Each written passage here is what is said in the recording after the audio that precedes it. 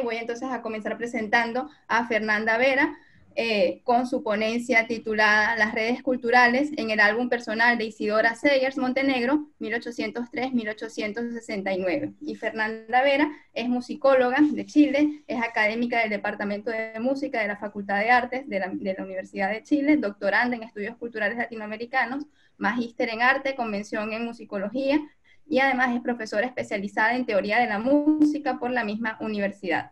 Es también investigadora asociada al Archivo de Música de la Biblioteca Nacional de Chile y al Archivo Central Andrés Bello.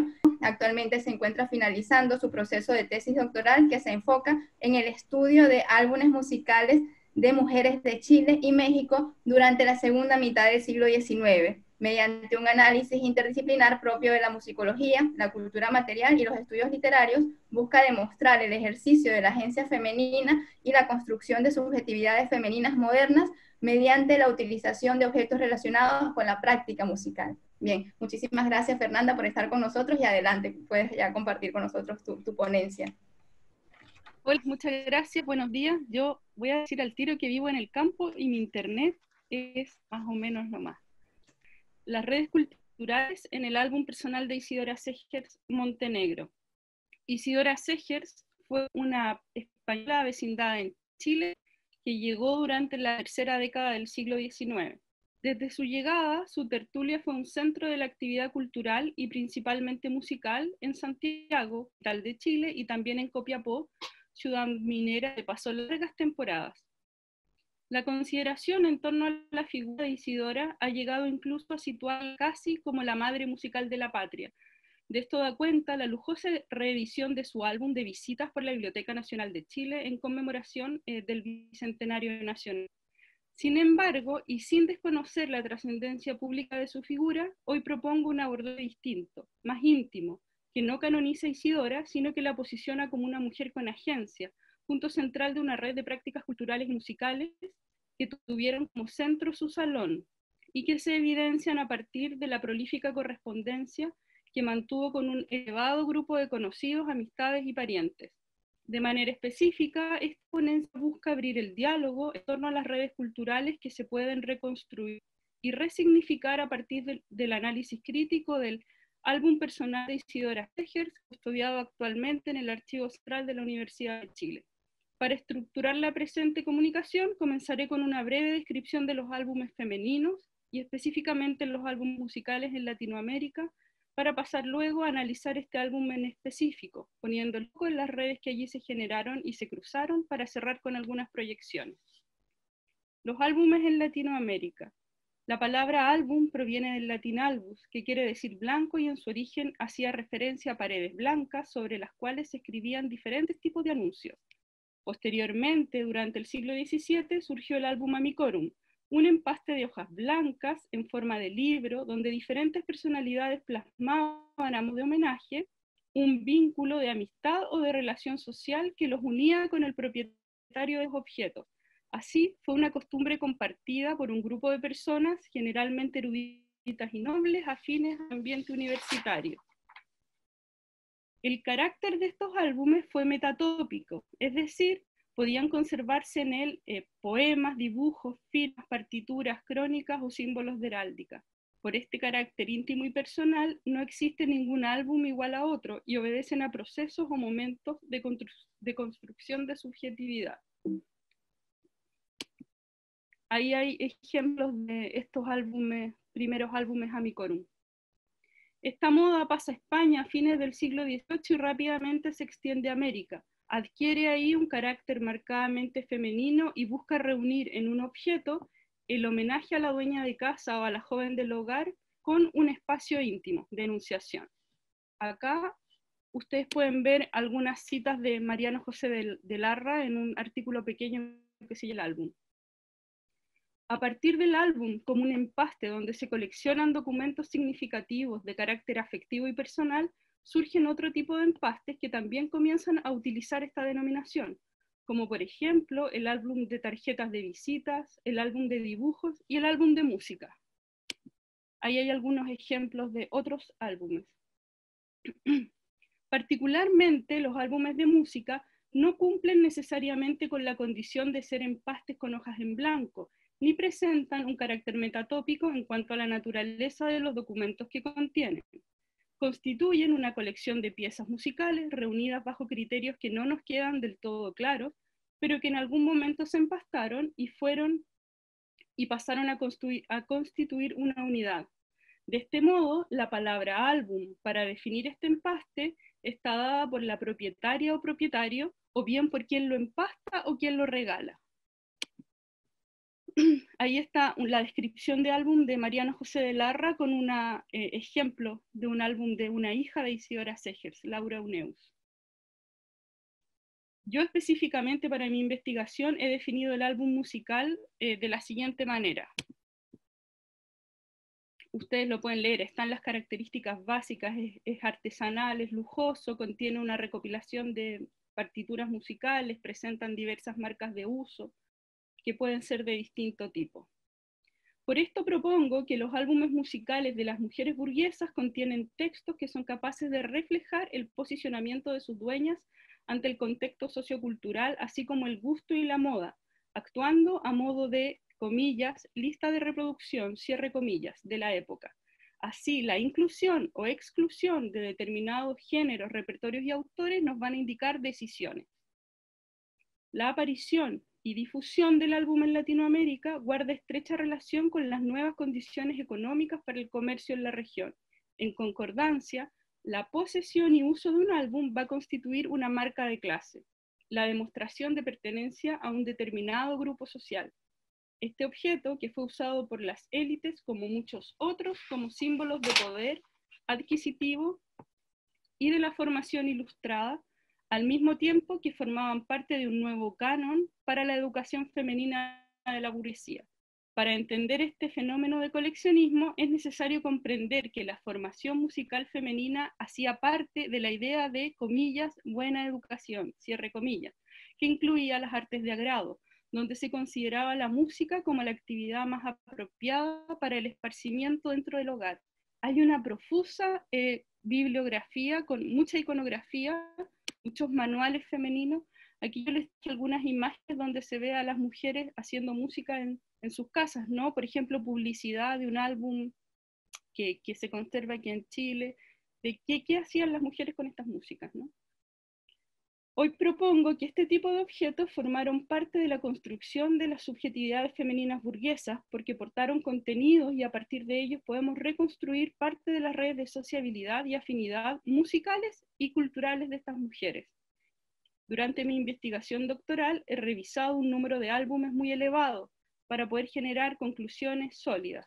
Personalmente he visto en Chile al menos 200 álbumes y he fichado en detalle 25 eh, álbumes chilenos y 20 mexicanos, teniendo la colección consultada más de 100. En Chile, por ejemplo, todos los repositorios de materiales musicales que están hoy en funcionamiento custodian de este tipo de objetos. Ahí hay ejemplos de álbumes de Chile. Durante el desarrollo de un proyecto de investigación de la colección partituras del Archivo Central Andrés Bello, el año 2012 tuve acceso al álbum personal de Isidora Seger sobre el cual profundizaremos hoy. Corresponde a un objeto que dialoga con otros que pertenecieron a Isidora y que también se custodian allí como en la Biblioteca Nacional de Chile. La colección de Isidora está dividida en esos dos fondos por legados que se hicieron en sus momentos a saber, dos álbumes de partituras, un manual de canto, un álbum que perteneció a su hija, pero que fue un objeto de Isidora, que ya les mostré, más el otro álbum, denominado Álbum de Isidora Seger de Uneus, el que corresponde a un álbum de visita y que, como ya mencionamos, fue objeto de una reedición completa por el Bicentenario. Ahí está el otro. Ese está reeditado en papel, muy lujoso y es eh, de alta calidad las digitalizaciones y todo el proceso que se le hizo para entender quién fue esta mujer y poder comprender sus redes contextuales, Isidora nació el primero de enero eh, de 1803 en Madrid. La vida familiar de los Segers Montenegro no fue tranquila porque el padre se cambiaba mucho de trabajo eh, llevándose a la familia. Tenían una situación económica muy, muy ajustada y él tenía que buscar trabajo.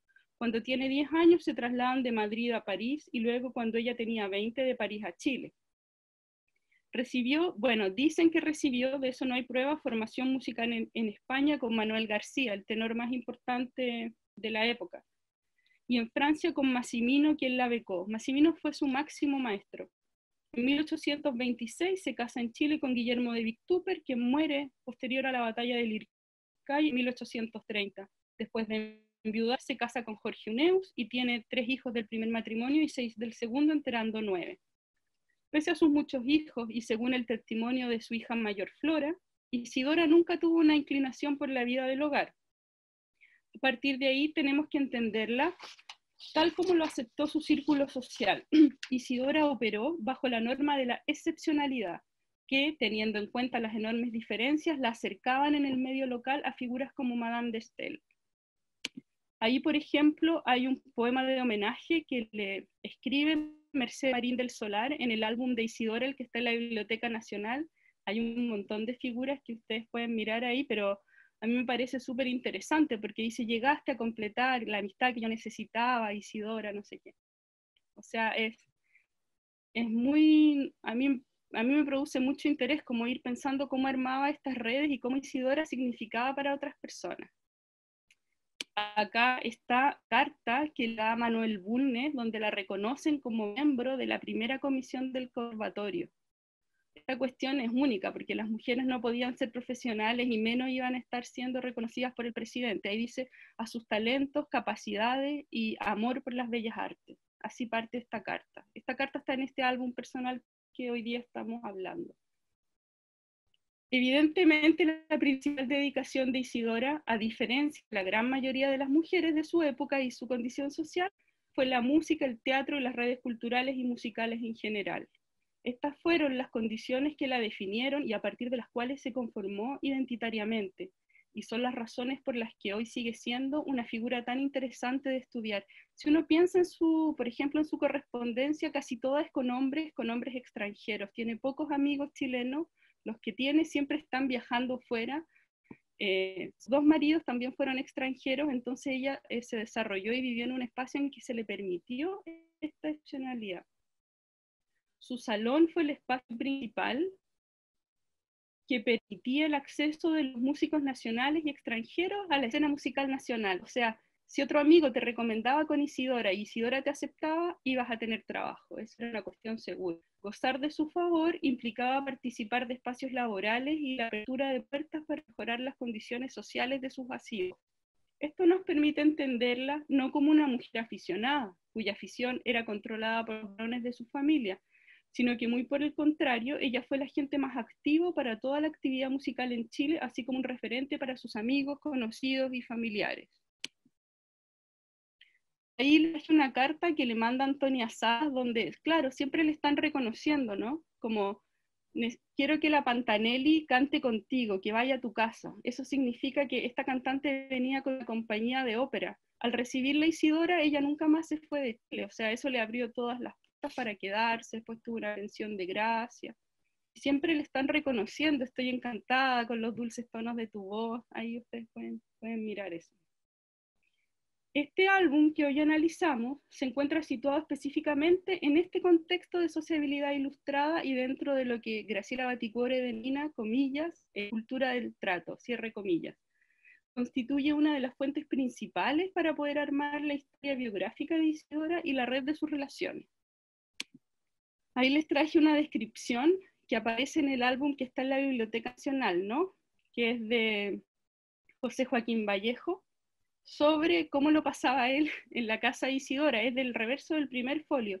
Y la foto que está al costado está en el otro álbum, en el que hoy yo traigo acá, en el álbum personal. Entonces, los objetos estos que ella conservó, estos dos álbumes personales, permiten hacer cruces también de redes de personas. Este objeto, que es un objeto complejo, podría ser un libro archivo, al ser hoy interrogado es capaz de dar cuenta tanto de la trayectoria vital de su propietario usuaria, así como de su existencia como objeto que denota los rastros de manipulación y las huellas de uso. A través de su lectura y análisis crítico detallado, podemos comprender algunas de las características de su personalidad, como sus acciones más relevantes en el en el campo de la música y también abordar y analizar sus relaciones personales y amistad con otros músicos y familiares. Si tuviéramos que clasificarlo, no corresponde ni a un álbum amicorum, ni a un álbum de música, tampoco a un scrapbook o libro de recortes. Pero esta indefinición confirma aún más sus características únicas e interesantes. Se compone de 324 documentos que hemos clasificado así. Perdón, ahí así se ve un poco, ¿no? El empaste, un empaste grande, tiene como 30 por 44 centímetros, ya tiene más o menos 10. Así se ve más o menos. Este no dice álbum, es menos lujoso que el de la Biblioteca Nacional, porque el otro era, se rellenaba, este no. Este fue una cantidad de folios que ella empastó y, tuvo para su uso. Tiene correspondencia, la mayor cantidad de las cosas que contiene son correspondencia, hay cartas en español, francés, italiano e inglés. Contiene todas sus partituras, la música que ella compuso, que son 19, crónicas de prensa, reproducciones de grabados, fotografías, el escenario musical completo, que fue el periódico que ella editó con otro equipo, también fue editora de periódico muy temprano, y otros, otros documentos, como dos diplomas, yo ya les mostré uno, dos documentos ilegibles, invitaciones, el reglamento del Conservatorio Nacional de Música y dos biografías de su difunto marido. Acá así se ve, ¿no? Por dentro los documentos no tienen el mismo tamaño, están pegados en el orden, cualquier orden. Por ejemplo, las partituras están juntas y el seminario junto, pero todo lo demás va surtido.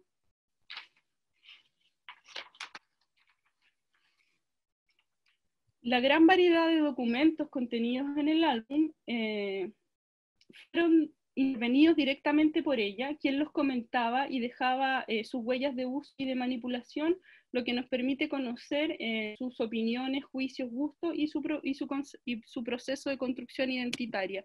Ahí les traje unos ejemplos que dicen, por ejemplo, contradicción a los artículos no sé cuánto, dice terrible, malo, no sé, este, este reglamento no sirve. Eh, por ejemplo, abajo donde dice Monboisán, ella pone pintor y no sé qué.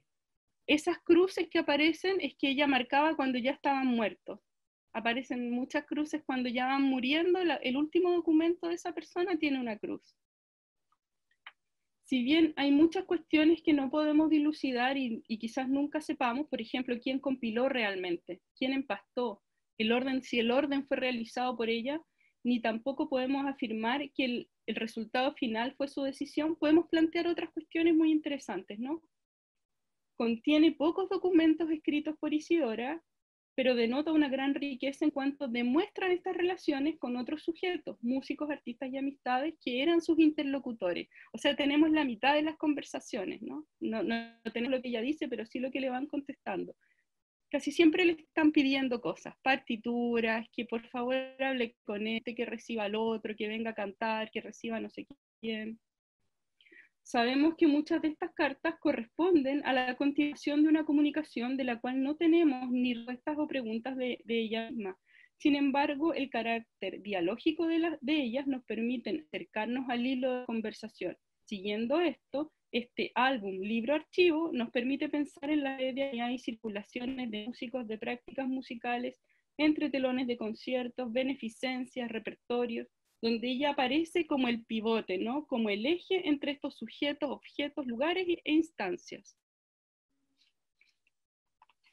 Por ejemplo, una, una, de estas muy interesantes es la relación que ella establece entre Federico Guzmán, que es el músico chileno más importante del siglo XIX, con Luis Morochal, que es el primer virtuoso americano que vive de conciertos. Este tipo nació en Nueva Orleans, es un monstruo de la interpretación del piano, hay muchas obras de él en YouTube, y él, llegó a su casa en Copiapó, después llegó a su casa en Santiago, y ella le presenta a este músico y él lo manda a estudiar a París con su profesor, él murió allá después. Y es nuestro músico más importante, él es afrodescendiente, él no es burgués, o sea, sus padres eran eh, profesionales de la música, técnicos, eh, maestros de capilla, y asciende eh, gracias a este contacto, a esta red que Isidora pone. Por ejemplo, la única foto de Federico Guzmán que ustedes ven, que es esa, la conservó ella en el álbum de la Biblioteca Nacional. Las otras dos fotos de Gottschalk, más dos cartas, están en el álbum personal. Hay otro ejemplo también, que es este. que es uno que nos interesa mucho, que es cómo ella arma una red de músicos afrodescendientes y les posibilita el ascenso social. Ahí está José Sapiola, que es el, himno el autor del himno de Yungay, y está José Bernardo Alcea, que es el autor del himno nacional del Perú, prócer peruano muy importante, y eran afrodescendientes, y es una cuestión que no se hablaba acá. Esas son las únicas dos fotos que se conservan y están en el álbum personal de la Isidora también. Ella dice, José Sapiola, músico y compositor, mi amigo personal, gran maestro. Y con ellos es que edita el semanario musical. Por eso está el primer documento, es la foto de Sapiola, y luego parte el semanario musical.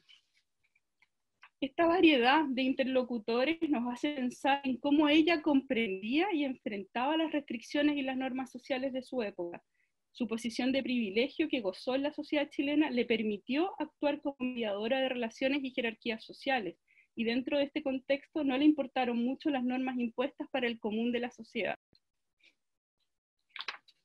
Así les contaba estos ejemplos con Sapiola, Alcedo y otros, puesto que perteneciendo ellos a otras clases fueron considerados dentro de sus amigos y los distinguió con elogiosos comentarios, teniendo frutos, ¿no? Como estas publicaciones y otras cosas, muchos conciertos. La información que comparto con ustedes es fruto de un proyecto interdisciplinario que buscaba poner en valor este álbum al mismo tiempo que permitía el acceso a todos los documentos allí contenidos. Nuestro equipo cuenta con historiadores, transcriptores, traductores, francés, inglés, alemán, conservadores, fotógrafos especialistas en puesto en valor, archivero y dos musicólogos. Dentro de los productos finales, estamos terminando con la implementación de una página en Omeca, incluyendo links, con todos los materiales para libre consulta y descarga mediante galerías digitales. Y así buscamos poner en valor el álbum y su contenido. Acá hay un, la última imagen, es cómo está quedando, ¿no? Estamos armando estas colecciones que van a ser viables, que están en Omeca. Está el álbum completo, van a estar las transcripciones, las traducciones, y vamos a intentar ir, ir generando nuevos vínculos, pues mirándolo desde diferentes perspectivas estaba fuera de nuestros recursos poder reeditar, ¿no? Como hizo la Biblioteca Nacional, pero pensamos que de esta manera se favorece el acceso, democratizamos los contenidos, etc. Y ahora a modo de cierre. Este álbum, como todos sus documentos, han formado parte de la construcción historiográfica de la música en Chile. Desde su particularidad como objeto complejo y desde la especificidad de cada documento, así como desde las múltiples relaciones intertextuales que conforman el objeto, este álbum personal da cuenta de múltiples agencias, tanto de la suya propia como de todos aquellos que le hicieron llegar cartas, fotografías y dibujos. También se evidencia agencia que ha ejercido objetos sobre los relatos, su presencia en las historias de la música, su vigencia en las búsquedas que realizamos cada día por Internet y que nunca hacen referencia a la proveniencia de estos documentos, ustedes podrían buscar ahora, José Sapiola aparece esa foto y jamás va a decir de dónde viene la foto o cuál es su contexto. Finalmente, este álbum, así como lo vemos hoy, nos permite acercarnos al mundo íntimo de Isidoro, por, por tanto compilado para su uso y goce, o bien a modo de biografía musical y cultural. Al interrogarlo hoy, nos asomamos a un mundo femenino mucho más complejo e interesante que lo que la historiografía y la musicología asignaban a la mujer burguesa durante este periodo, lo que es aún más cierto para el caso de la mujer música. De cualquier modo, es evidente que el pensamiento crítico en torno a este objeto y sus lecturas están aún en un punto inicial. Muchas gracias. Muchísimas gracias, Fernanda. Fascinante, de verdad. Disfrutamos muchísimo escucharte.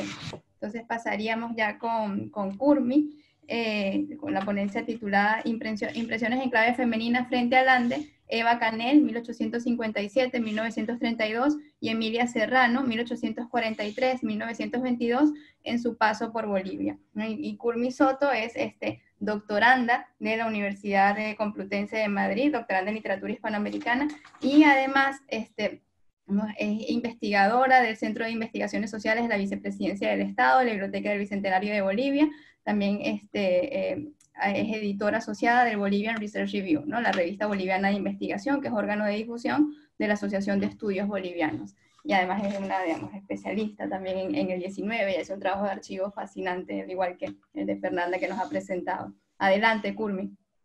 Muchas gracias, Anaí. Eh, muchas gracias, Fernanda. Muy linda tu exposición. Realmente me ha dado muchísimas, muchísimas ideas y es un placer haberte conocido, aunque sea digitalmente.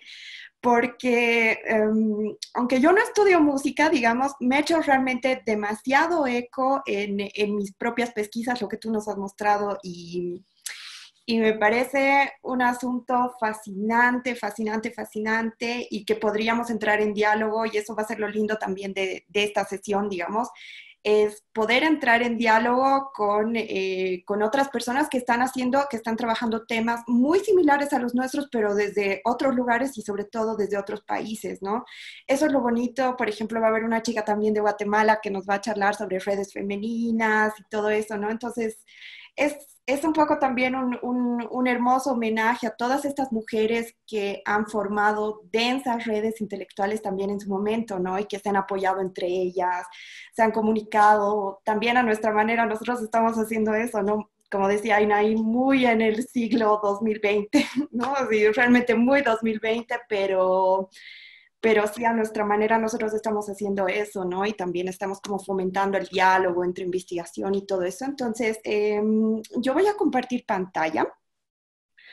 A ver, em, les comparto. Em, entonces, hoy les quiero hablar de dos españolas que por eso también me hacía mucho eco lo de Fernanda, porque sí son españolas que aunque no se han afincado aquí en América Latina, eh, bueno, sí, una sí se afincó, eh, sí han estado totalmente en contacto con redes transatlánticas. La primera es Eva Canel, ella es asturiana de nacimiento y finalmente va a pasar gran parte de su vida en América Latina y va a morir en, en Cuba en 1932 y de hecho durante mucho tiempo la historiografía literaria cubana y en general hispanoamericana la va a considerar como, como eh, de La Habana, digamos, una, una, una, autora propia de ese lugar, aunque ella va a vivir mucho tiempo también en Buenos Aires, em, va a estar un tiempo también en Lima y va a tener muchas idas y venidas entre Madrid, Barcelona, eh, un tiempo Puerto Rico, va a tratar de instalarse en Estados Unidos, es decir, va a ser una viajera impenitente durante mucho tiempo. Y eh, en paralelo les voy a hablar de otra, otro personaje que ella sí como que ha hecho correr mucha más tinta, aunque recién se le está recuperando, que es Emilia Serrano, la baronesa de Wilson. Ella es granadina de nacimiento y no se sabe muy bien sus orígenes. En algunos momentos eh, su biografía es muy oscura, por eso les pongo entre entre puntos de interrogación el año de nacimiento, porque no se sabe a ciencia cierta cuándo nació y ella voluntariamente como que ha ocultado cosas en su biografía, su edad, sus orígenes a veces no están muy claros. Em, ella se va a perdón, ella va, va, a quedar viuda del barón Wilson muy joven, se va a volver a casar, pero va a seguir usando el título de baronesa, que es muy, muy bien sonante y con el que va a firmar, de hecho, eh, su gran producción va a ser de alguna manera también su nombre de pluma, ¿no? Entonces me interesa, em, me interesan estas dos viajeras, estas dos escritoras, eh, sobre todo porque son españolas y nos dan una perspectiva extranjera de lo que estaba pasando, pero también porque ambas han escrito en textos eh, muy, muy parecidos, ¿no? Eh, que tienen mucha relación entre ellos y que se comunican tanto estéticamente como ideológicamente. Ambas son casi de la misma generación.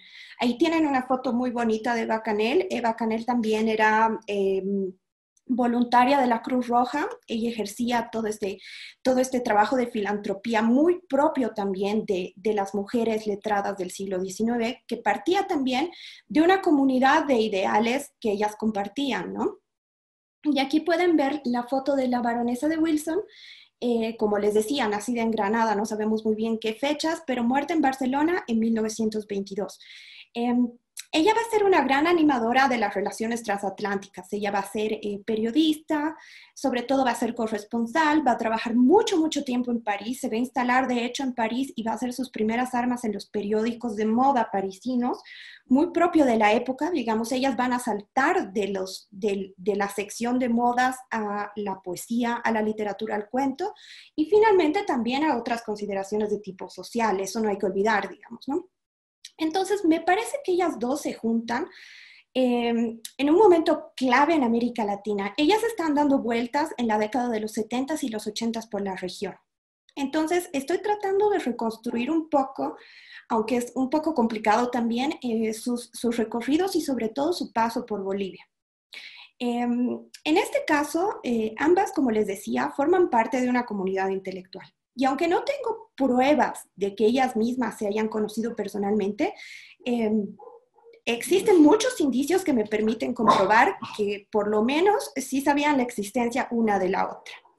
Eh, el punto de partida y en realidad como las encontré eh, fue un poco por casualidad, porque en realidad estoy siguiendo a otro personaje, eh, que es este caballero, que se llama Eloy Perillán Bouchot, nacido en Valladolid en 1848 y muerto en La Habana. Él es el esposo de, de Eva Canel. Él va a ser su marido, se va a casar con ella muy, muy joven, ella tiene como 15 años, Em, y la va a dejar también viuda muy, muy joven. Y por lo mismo, eh, por, por, las mismas palabras de Eva Canel, como relata ella un poco sus viajes al lado de su marido, sabemos que no la ha tenido fácil. Que ha sido una vida muy complicada, eh, llena de exilios, eh, de persecuciones políticas, porque Eloy Perillán Bouchot era mm, revolucionario, primero era republicano, entonces con el golpe de Estado de Pavía tiene que venir a América Latina. Y después coquetean mucho con el anarquismo y también forman parte de redes masónicas. Entonces, Eloy Perillán Bouchot es muy amigo de la baronesa de Wilson. Ellos llegan a Bolivia en 1877. Están siguiendo una especie de recorrido un poco caótico. De hecho, Eloy Perillán viene un año antes, em, llega, llega a América Latina en el 74 a Montevideo, y Eva Canel eh, le va a dar encuentro un poquito después, un año después se va a quedar administrando sus cosas, administrando sus periódicos y tratando de cerrar todos los proyectos editoriales que tenían en España. Entonces ya la pobre Eva a los 16, 17 años tiene que recorrer mitad del mundo para dar encuentro a su marido. De ahí van por, eh, bueno, Montevideo, Buenos Aires, pasan brevemente por, por, por Chile y están llegando de Valparaíso a Bolivia. Y la misma Eva cuenta lo difícil que era. Era un poco un viaje un poco extravagante porque Eloy Perillán también trabajaba con, em, con muchos otros viajeros y muchos otros exploradores. Aquí en Bolivia en La Paz, concretamente, en 1877, él se va a encontrar con, em, con médicos ambulantes, con, em, con, exploradores protoarqueológicos, digamos. Entonces es fácil imaginarse cómo, cómo ellos tenían los, eh, las maletas. Ella cuenta que era, era un poco complicado, digamos, ¿no? Entonces ella va, va a seguirlo durante mucho tiempo y después ellos se van a instalar en Perú eh, finales de la década de los 70 hasta la Guerra del Pacífico. Entonces, todo indica, aunque no he podido revisar la correspondencia, todo indica que sí, la baronesa de Wilson y Eva Canel se conocían, aunque Eva Canel era un poquito más joven. De hecho, en ese entonces era muy, muy, muy joven, pero eh, que sí ha tenido que haber una relación que es necesario un poco dilucidar después de todo, ¿no? Entonces, cuando ellos están en Bolivia, en La Paz concretamente, Eloy Perillán le invita a la baronesa de Wilson y produce una serie de epístolas poéticas contándole lo bonito que es eh, que las montañas, que debería venir, que debería pasar el Titicaca, o sea, le invita. Em, sin embargo, eh, Parece que la baronesa no se decidió en ese momento. Es 1877. Parece que vino un poquito después. Em, como les digo, en algunos momentos, tanto en el caso de Bacanel como en el caso de, Emilia Serrano, es difícil reconstruir las biografías, porque ellas, em, y además es, es, una estrategia muy propia del momento que ha sido analizada, por ejemplo, por ah, estudiosas como Pura Fernández, es que las biografías son voluntariamente, mm, no sé si engañosa sea la palabra porque tiene una connotación negativa, pero son ambiguas. Entonces, muchas veces no cuentan ahí algunas cosas o cuentan solamente lo que, lo que interesa al público en general. Entonces, estamos hablando de cómo estas mujeres eh, están mediando su acceso a, esta faceta mucho más conocida de escritoras, que se publican, que, que, se muestran ante, ante sus lectores, ¿no? Entonces, ¿cómo van a mediar estas experiencias? A mí me gustaría hablarles de tres libros en particular, aunque em, debo decir que hay mucha, mucha bibliografía que ellas han producido. Es gigantesca, existen muchos periódicos. Eh, como les digo, estoy en busca de la correspondencia. Hay mucho material que ha sido producido, entonces para esta ocasión eh, solamente me gustaría concentrarme en tres libros eh, sobre la experiencia americana que ellas tienen, aunque tienen muchos más, ¿no? El primero es este de Bacanel, eh, que se llama De América, Viajes, Tradiciones y Novelitas Cortas. Este ha sido publicado la primera vez en 1889. Es importante porque estamos en, estos años entre el 89 y el 90, estamos en un periodo de producción de mucha literatura de viajes femenina. Entonces eh, coincide con la publicación un año después de América y sus mujeres de la baronesa de Wilson, ambos eh, publicados en España. ¿No? Y finalmente, este tercero, que es Maravillas Americanas, que es un poquito más tardío, que es de 1910, entonces realmente se nota, ¿no? Pueden ver entre, entre la diferencia entre las portadas y estamos realmente en otro periodo. Este ha sido publicado en Buenos Aires eh, por el editorial Mauchi. Entonces, también es importante señalar eh, que son empresas editoriales. Es decir, no solamente son narraciones de viajes por un continente extenso, sino que también todo ese proyecto transnacional se refleja en una motivación editorial. Entonces, durante el periodo tenemos muchas, muchas, muchas casas editoras que se abocan específicamente a la literatura de viajes americana. Y de ahí van a ser sucursales en, el continente, como el caso de Mauchi. Por eso es importante también ver esta conexión, ¿no? Porque ellos tenían una, una editora en, en, Barcelona y después van a hacer una, una editorial en Buenos Aires. Entonces, hay todo un lazo que indica que estas mujeres también son representantes de, de un movimiento muy grande que, eh, que, necesita ser explorado, digamos, ¿no? Porque ellas son los rostros más visibles. Pero nada, nada nos permite decir que no haya habido muchas otras más viajeras que haya habido una conexión mucho más densa de lo que nosotros tendemos a pensar eh, sobre eh, estos recorridos personales, ¿no? Entonces, eh, bueno, ambas publican muchos libros, muchos periódicos, también parte, parte de, de, la relación, de la relación letrada que ellas entretenían era la dinámica en los periódicos. En este caso, digamos, en el caso de, eh, de, la baronesa de Wilson, he podido ver que mucho, mucho de su producción ha sido publicada en Bolivia. Entonces ella tenía personas, tenía amigos que, que sí recibían correspondencia y sí eh, reproducían poemas, por ejemplo, o narraciones cortas. Y en el caso de, Eva Canel es un poco más complicado porque durante mucho tiempo, bueno, ella viene bajo la sombra de su marido, entonces durante mucho tiempo la crítica ha tenido problemas para la atribución autorial. Eh, se ha creído primero que Eva Canel eh, no existía, que era un seudónimo, que, que, era parte de los inventos del marido, porque el marido era muy recursivo, eso sí, pero que era como que era como medio legendaria. Entonces, la, la, crítica ha sido muy reciente. Recién en los años 90 se ha podido exhumar su nombre y ver más o menos cómo era la función de Eva Canel dentro de los periódicos una vez emancipada de su marido, digamos. O sea, realmente la, la producción fuerte la hace después del 89.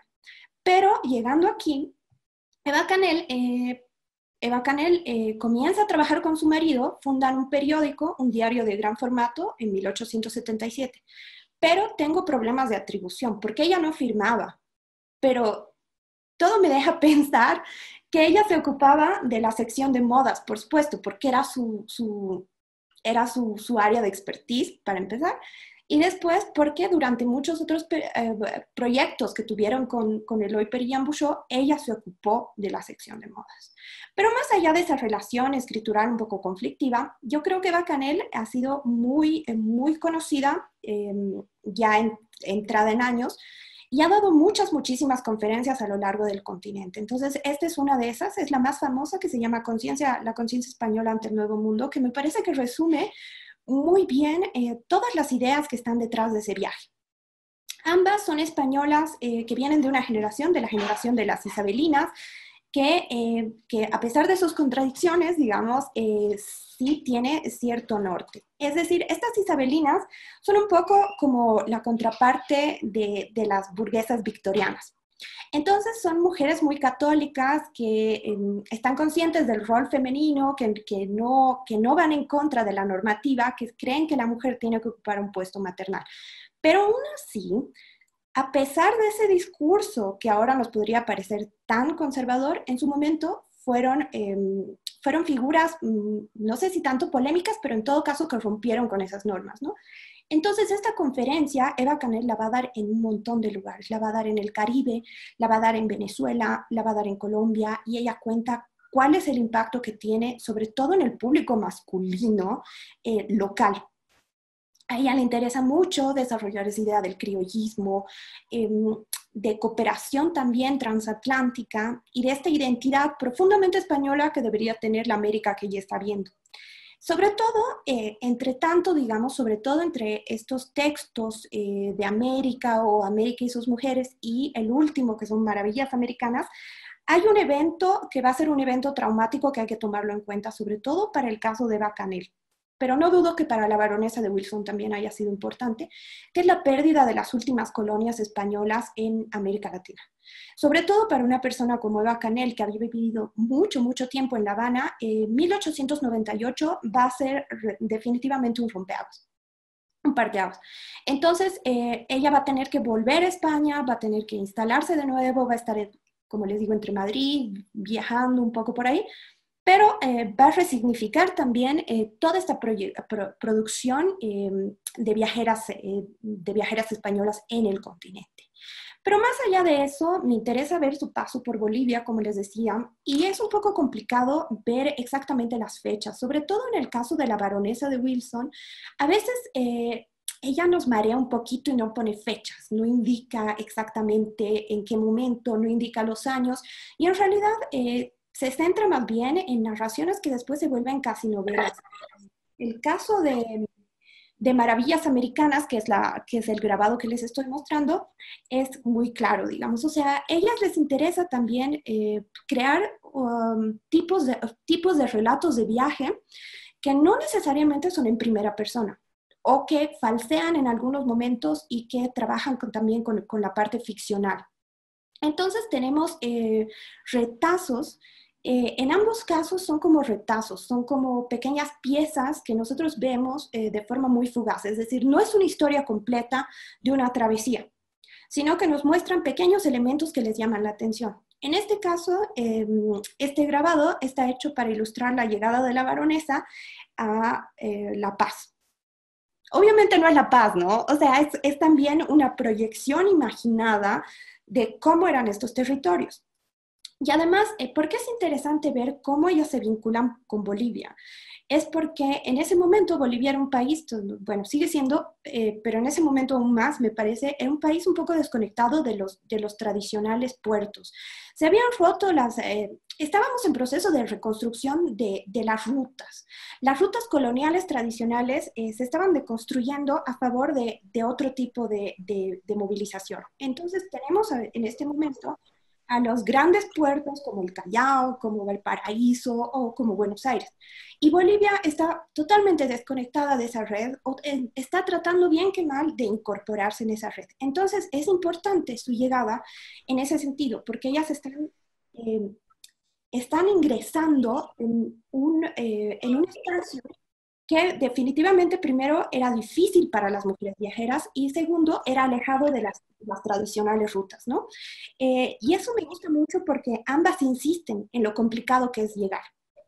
Una llega desde el norte, eh, desde Arequipa, si no me equivoco, y la otra llega desde el sur, desde Chile, y ambas, eh, cada una siguiendo su propio camino, eh, dan cuenta de lo complicado que es este país, de lo difícil que es y también ensalzan su figura de viajeras, ¿no? Al mismo tiempo que se dan cuenta de, de, las dificultades propias del lugar, también ponen en valor su aventura y, y el hecho de que ellas sean mujeres eh, exploradoras en lugares tan, tan recónditos, ¿no? Entonces ahí se crea una especie de sensibilidad que me parece muy importante porque no solamente incluye Bolivia dentro de, dentro de toda esta geografía, sino que se vuelve, y eso yo lo saco de Pura Fernández, que me gusta muchísimo, se vuelve una, eh, una geografía afectiva. Es decir, ellas comienzan a ocupar este espacio a partir de su propia sensibilidad. Y eso es muy interesante, sobre todo en el caso de, de América y sus mujeres, porque eh, la baronesa de Wilson da cuenta de, de, sus pares y de sus pares en lugares tan, tan alejados como Bolivia, ¿no? Entonces, eh, Así, ellas crean eh, de esta manera eh, redes transnacionales que son definitivamente femeninas, ¿no? Entonces, em, me parece que por eso es importante considerar a Bolivia eh, dentro de estas narraciones, ¿no? Porque están inventando un espacio, lo están resignificando y lo están reincorporando a, a sus propias narrativas. Sobre todo eso de la narrativa me interesa mucho porque en, el caso de Eva Canel, sobre todo, se vuelven cuentos sudamericanos. Ya no es la propia narración de viaje, no es Eva hablando de sí misma, sino que es Eva, escritora, tratando de dar cuenta de las leyendas, de las tradiciones que también ve. Pero finalmente ellas rescatan Bolivia eh, como otros países dentro de su caracterización literaria. Es importante pensar esto, que son viajes literarios, definitivamente. O sea, tanto los cuentos sudamericanos como los retratos de, las mujeres americanas, como, em, como, como, el mismo, como la misma labor escritural de, de, Emilia Serrano en Maravillas Americanas, me parece que es una caracterización literaria fundamental, es hacerlo existir dentro de este panorama literario, ¿no? Entonces, eh, de esta manera, ellas van tejiendo eh, comunidades imaginadas. ¿No? Aquí lo tengo un poquito más abajo. Bueno, no solamente hablan de una reinvención de América, como diría Marie-Louise Platt, sino también de geografías afectivas y comunidades imaginadas, ¿no? Entonces, a pesar de las búsquedas, y esto ya para concluir. Eh, a pesar de las búsquedas de cada una, de alguna manera, todas o la gran mayoría de estas escritoras de este tiempo, digamos, que, que, se, que, se, que se, encuentran en esta red, buscaron crear eh, lazos intelectuales, sobre todo en espacios de habla hispana, hay un tema de la importancia del idioma, de compartir una, cultura y un pasado común que me parece que siempre vuelve. Y eso sobre todo lo dice Marie-Louise Platt, ¿no? Es decir, como que esa reinvención de América. Entonces, muchos fueron los periódicos que dan cuenta de esto y me parece también importante señalar a otra, a otra española, que es eh, Concepción Jimeno. Y este periódico que es de la misma época, ¿no? Entonces, realmente ellas participaban de todo un movimiento que partía de la península, pero que también se expresaba en diferentes lugares del continente americano, ¿no? Entonces, eh, este periódico comienza a circular los mismos años en que se publican los dos primeros libros de los que les hablaba, ¿no? Entonces, finalmente, Emilia Serrano y Eva Canel representan de esta manera dos rostros visibles de este movimiento transatlántico. Y su paso por Bolivia, entonces un territorio muy alejado de los tradicionales circuitos, este, prueba su voluntad de insertar este gigantesco espacio alejado y de difícil acceso a una geografía afectiva y darle un espacio dentro de sus narrativas, ¿no? Y eso lo, que lo, eh, y eso lo dice Pura Fernández un poquito más bonito, este, acomodar un discurso en torno a la feminidad, es un discurso femenino, eh, buscando un marco de proyección transnacional. Más o menos yo lo leo en esa clave, estos proyectos que son tan grandes y de los cuales solamente quería mostrar un poquito, pero, eh, pero me parece que estos dos, estos dos ejemplos, estas dos personas, nos permiten tener una mirada global que, que, interconecta las historias literarias de diversos países a través de las experiencias. Y por último, eh, para, para, terminar, digamos, me parece que realmente se forma una hermosa hermandad lírica, como diría Susan Kirkpatrick, sobre eh, las decimonónicas. Muchas gracias. Muchísimas gracias, Curly, por la maravillosa presentación. Como siempre, este, ha sido un placer escucharte.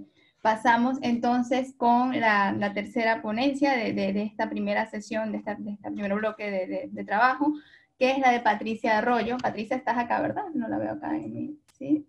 Acá está ahora. Bien. Patricia Arroyo, la ponencia se titula este, Trabajo doméstico, acumulación de capital y progreso nacional en Centroamérica. Vicenta La Parra de la Cerda y su red de escritoras guatemaltecas 1880-1900. Y Patricia Arroyo Calderón es este assistant professor de la Universidad, eh, de, la Universidad de California, ¿no? UCLA. Y este, es doctora en literaturas y culturas latinoamericanas por The Ohio State University eh, bueno, que ya lo dije, assistant professor en el Departamento de Español y Portugués de la Universidad de California en Los Ángeles, donde enseña seminarios grabados y cursos subgrabados como Introducción a las Culturas Latinoamericanas, Alteridad Étnica en América Latina, del indigenismo a las literaturas indígenas. Bueno, pues eh, nada, muchísimas gracias por tu presentación, Ainaí. Y muchas gracias a, a, Joyce y, a Inaí realmente por poner, eh, por organizar este simposio estupendo, que ya estoy aprendiendo, estoy aprendiendo muchísimo. Eh, justamente también me quería disculpar con, con, las colegas que van a presentar mañana, porque pues como nos cambiaron las fechas, etcétera, eh, ya tenía justamente otro compromiso precisamente para seguir hablando de redes de mujeres. Estas, estas redes de mujeres, voy a mañana sobre redes de mujeres, o voy a, coordinar, voy a coordinar unos paneles sobre redes de mujeres guatemaltecas en la década de los años 1920, ¿verdad? Entonces vamos a hablar eh, sobre viajeras, vamos a hablar sobre teósofas, vamos a hablar sobre activistas unionistas centroamericanas, vamos a hablar sobre eh, mujeres comunistas, entonces bueno, en fin, pues yo, yo estoy en una semana intensa de redes, de redes de mujeres y bueno, pues aportando también un poquito eh, sobre las redes de mujeres centroamericanas que realmente creo que hablamos, hablamos demasiado, demasiado poquito de, de, ellas y realmente hay una serie, de, hay una serie de, de, redes bien articuladas, por lo menos desde fines del siglo, desde el siglo, desde fines del siglo XIX en la región, con mujeres que están produciendo muchísimo, que están ocupando espacios ah, muy centrales en la esfera pública de, eh, en los contextos pedagógicos, en los contextos del periodismo, eh, en fin. Entonces, hablar eh, hoy tiene que ver con, tiene que ver con eso. Eh, y me han gustado las, las, intervenciones de las dos compañeras que han hablado, que han hablado antes que yo, ¿no? Precisamente porque también visibilizan la de, justamente la densidad, ¿no? De esos contactos entre mujeres intelectuales, entre mujeres escritoras, entre mujeres viajeras, y que efectivamente, como ya todos sabemos, eh, hemos comenzado a trabajar muchísimo, ¿verdad?, sobre ese tipo de redes femeninas en el siglo, en el siglo XIX, pero creo que todavía hay ciertas regiones que, eh, que son muy periféricas, ¿verdad?, o que, nos hemos que no nos hemos acercado todavía a lo, lo suficiente a estudiar esas redes de mujeres. Entonces yo creo que lo que nos han presentado Fernanda y Curmi son dos excelentes ejemplos, ¿no? Y, ojalá pues yo también les pueda ilustrar un poquito sobre qué es lo que estaba pasando a fines de siglo en el contexto centroamericano. Me voy a centrar un poquito más en, Guatemala. Podríamos hablar de otras mujeres, que, eh, de otras redes de mujeres que también hay en Honduras, que también hay en El Salvador, que también hay en Costa Rica, ¿verdad? Pero, eh, y muchas de ellas están interrelacionadas y otras no, ¿verdad? Pero yo un poquito me voy a centrar en una red bastante potente que estaba operando desde la eh, de, Guatemala. Eh, entonces, bueno, ya comienzo, con, comienzo con mi presentación. Eh, les voy a hablar justamente de esta red que va a estar organizada, de una red que va a estar organizada en torno a la figura de una autora bastante prolífica y relativamente, relativamente conocida, muy famosa en su época, después completamente olvidada y solamente últimamente medio recuperada, ¿verdad? Estamos comenzando con la recuperación eh, de su obra y de su figura, eh, que es justamente, se llama Vicenta La Parra de la Cerda, que fue una autora que nació en Quetzaltenango, que es la segunda ciudad más importante, más grande de, Guatemala, en el año de 1831 y eh, fallece en el año de 1905. No me interesa tanto hablar de ella como de su red, pero sí les voy a dar, sí les voy a dar como algunos, algunos detallitos biográficos. Eh, Vicenta La Parra, al igual que buena parte de los intelectuales centroamericanos de su época, pasó buena parte de su vida en el exilio. En su caso, primero debido a las simpatías liberales de su padre y después, eh, posteriormente, a las simpatías liberales de su esposo y a las de su suegro también. Pasó buena parte de sus años de infancia en Chiapas, y ya en su juventud y una vez casada con el político liberal César de la Cerda, sucesivos exilios la llevaron a ocupar importantes puestos de dirección eh, en la dirección de escuelas para niñas tanto en San José de Costa Rica y después en Santa Ana en El Salvador. Vicenta La Parra va a regresar por fin a Guatemala en el año de 1863 y se va a instalar permanentemente en la ciudad capital, donde va a abrir una escuela para niñas eh, dentro de su propia casa.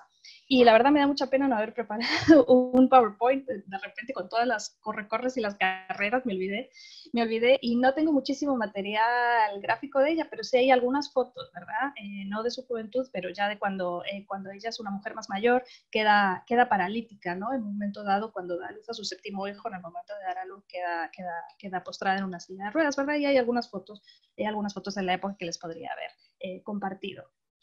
Eh, en cualquier caso, después de esa infancia y de esa juventud eh, que pasa en, el exilio, ¿verdad? En Chiapas y después en, otros, y después en otras repúblicas centroamericanas, por fin va a poder regresar a Guatemala en el año de, 1800, en el año de 1863, ¿verdad? dos décadas más tarde, es decir, como a principios de los años 80, Vicenta La Parra va a reaparecer en el centro de la vida cultural de la República de Guatemala.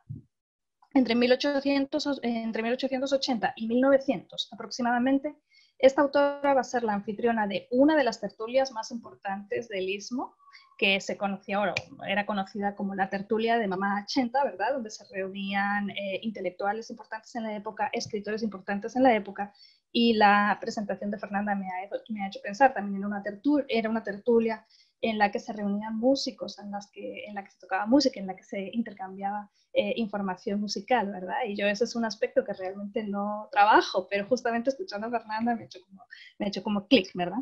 Eh, bueno, además de, además de regentar esta, esta importante tertulia donde se van a reunir los intelectuales y los escritores más importantes de ese periodo, eh, va a ser la fundadora junto con su hermana mayor, que se llamaba Jesús, los dos primeros semanarios centroamericanos íntegramente redactados por mujeres y destinados a un público eminentemente femenino, que van a ser eh, el Semanario de la Voz de la Mujer, que se va a publicar durante el año de 1884, y el Semanario El Ideal, que se va a publicar entre 1887 y 1888. Ninguno de ellos eh, va a sobrevivir mucho tiempo, ¿verdad? Por problemas de impresión, problemas de suscripciones, problemas financieros, etcétera, pero sí son los dos, pero son importantes, digamos, porque abren un poquito el campo de la prensa femenina en Centroamérica. Eh, y finalmente, y este es el aspecto que me interesa explorar hoy eh, más con, con ustedes, Vicenta La Parra va a emerger como la figura clave que va a conectar una red de prolíficas escritoras con base en Ciudad de Guatemala. Eh, además de la propia Vicenta y de su hermana Jesús, las mujeres que compusieron esta red incluyen a Adelaida Chévez, de la cual voy a hablar más tarde, Rafaela del Águila, una educadora importante que fue la directora de la Escuela Normal para Mujeres durante, varios años. Pilar Larrabe de Castellanos, una autora de manuales de economía doméstica y profesora de, y profesora de las escuelas para jóvenes, eh, de la que también voy a hablar un poquito más adelante. Eh, Sara María García Salas y Carmen Pérez Silva, eh, poetas, periodistas, esposas de impresores, etc. Tomadas en conjunto, estas autoras escribieron un buen número eh, de, novelas y de obras de teatro sentimentales, docenas de cuentos y artículos periodísticos, así como una serie de manuales de economía doméstica, cartillas de moral y otros textos relacionados con la educación infantil. Las miembros de esta red ocuparon un espacio protagónico en las principales revistas pedagógicas de fin de siglo, en concreto en eh, El Educacionista, en la Escuela Normal y en la Academia de Maestros y sus textos circularon ampliamente por la constelación de escuelas para niñas y jóvenes que se estaban creando a lo largo y ancho de la región centroamericana. Varias de las mujeres que acabo de mencionar fungieron como delegadas en conferencias transatlánticas y en eventos regionales. Por ejemplo, eh, Vicenta La Parra fue delegada en el Congreso Literario Hispanoamericano celebrado en, Madrid en el año de 1892. Eh, varias de ellas atendieron a la Exposición Centroamericana de 1893 y casi todas ellas fueron ponentes en el primer Congreso Pedagógico Centroamericano que se celebró en la ciudad de Guatemala en ese mismo año de 1893.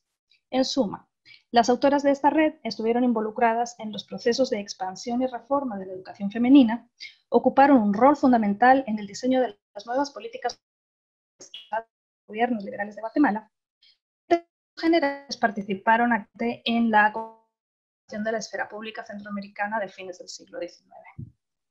Y no obstante, el trabajo de estas mujeres, y esto es un poquito lo que creo que, varias, de, varias de nosotras nos encontramos en la misma situación, ¿verdad? El trabajo de estas mujeres, casi sin excepción, ha sido ignorado eh, tanto por el campo de los estudios latinoamericanos del siglo XIX como por los estudios literarios y los estudios eh, culturales centroamericanos, que realmente tampoco le han prestado demasiada atención. Mi intención de hoy entonces es eh, tratar eh, de, comenzar a revertir este olvido enfocándome en el análisis de una serie de textos en los que estas escritoras desarrollaron sus ideas acerca del papel que debían desempeñar las mujeres centroamericanas en el desarrollo económico de la región. Y solamente me voy a centrar en este tipo de, este discurso. En concreto, me voy a enfocar en dos manuales de economía doméstica. El primero de ellos eh, se titula La llave de oro Compendio de Economía Doméstica para Uso de las Niñas Centroamericanas y fue escrito por Adelaida Chévez en el año de 1887. Y el segundo manual se titula Economía Doméstica para Uso de las Jóvenes Centroamericanas y en este caso su autora es Pilar Larrabe de Castellanos y lo publicó en el año de 1895. Hasta donde yo he podido comprobar, se trata de los primeros manuales de economía doméstica dirigidos específicamente a una audiencia compuesta por niñas y jóvenes centroamericanas y pensados para ser utilizados en los sistemas públicos de educación que estaban siendo implementados en el istmo. Lo que me interesa resaltar de estos manuales es que fueron textos que redefinieron el trabajo doméstico como un elemento crucial para la acumulación de capital y para el progreso nacional, y por lo tanto situaron a las mujeres justo en el centro de los debates sobre el advenimiento de la modernidad capitalista a la región. Eh, los historiadores especializados en el estudio del siglo XIX en Centroamérica han analizado bastante bien cómo los conceptos antagónicos de trabajo productivo por un lado y trabajo improductivo por el otro lado fueron nociones esenciales alrededor de las cuales se articularon los proyectos de modernización impulsados por las élites regionales eh, después de 1870, que es el momento en el que comienza todo, eh, en el que comienzan, digamos, las revoluciones liberales en el Istmo. A pesar de las excelentes aportaciones sobre el impacto de conceptos diferenciados de trabajo en la articulación de estructuras fuertemente jerárquicas y racializadas al interior de las fincas de café y de las plantaciones bananeras, apenas se le ha prestado atención al hecho de que poco después estas mismas teorías sobre el trabajo improductivo y el trabajo productivo habrían de convertirse también en los conceptos rectores de los procesos de reorganización de los hogares centroamericanos. Eh, los manuales de economía doméstica que aquí estoy analizando, que les quiero presentar aquí, se iban a convertir, por tanto, en vehículos que contribuyeron de forma importante a la diseminación de un imaginario de modernidad en el que el trabajo doméstico productivo quedó asociado en exclusiva a una ama de casa que era percibida como blanca y letrada, mientras que los contingentes crecientemente racializados de sirvientas indígenas, afrodescendientes y mestizas, o ladinas, que es el término que se utiliza en Guatemala para, hablar de los mestizos, se fueron asociando cada vez más con la noción de trabajo doméstico improductivo. Estos textos, los manuales de economía doméstica, presentan a sus lectoras a un nuevo sujeto femenino para la modernidad.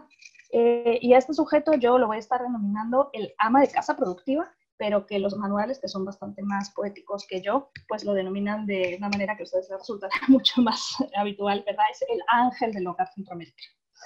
Eh, este ángel centroamericano, ¿verdad? Eh, debía dedicarse en cuerpo y alma a lo que entonces se llamaba el gobierno del hogar, por medio del despliegue de toda una serie de virtudes económicas diferenciadas en función de su género. La más importante de estas virtudes femeninas consistía en la capacidad de la mujer de controlar su propio deseo y como consecuencia de ello, ser capaz de mantener los gastos domésticos bajo estricto control.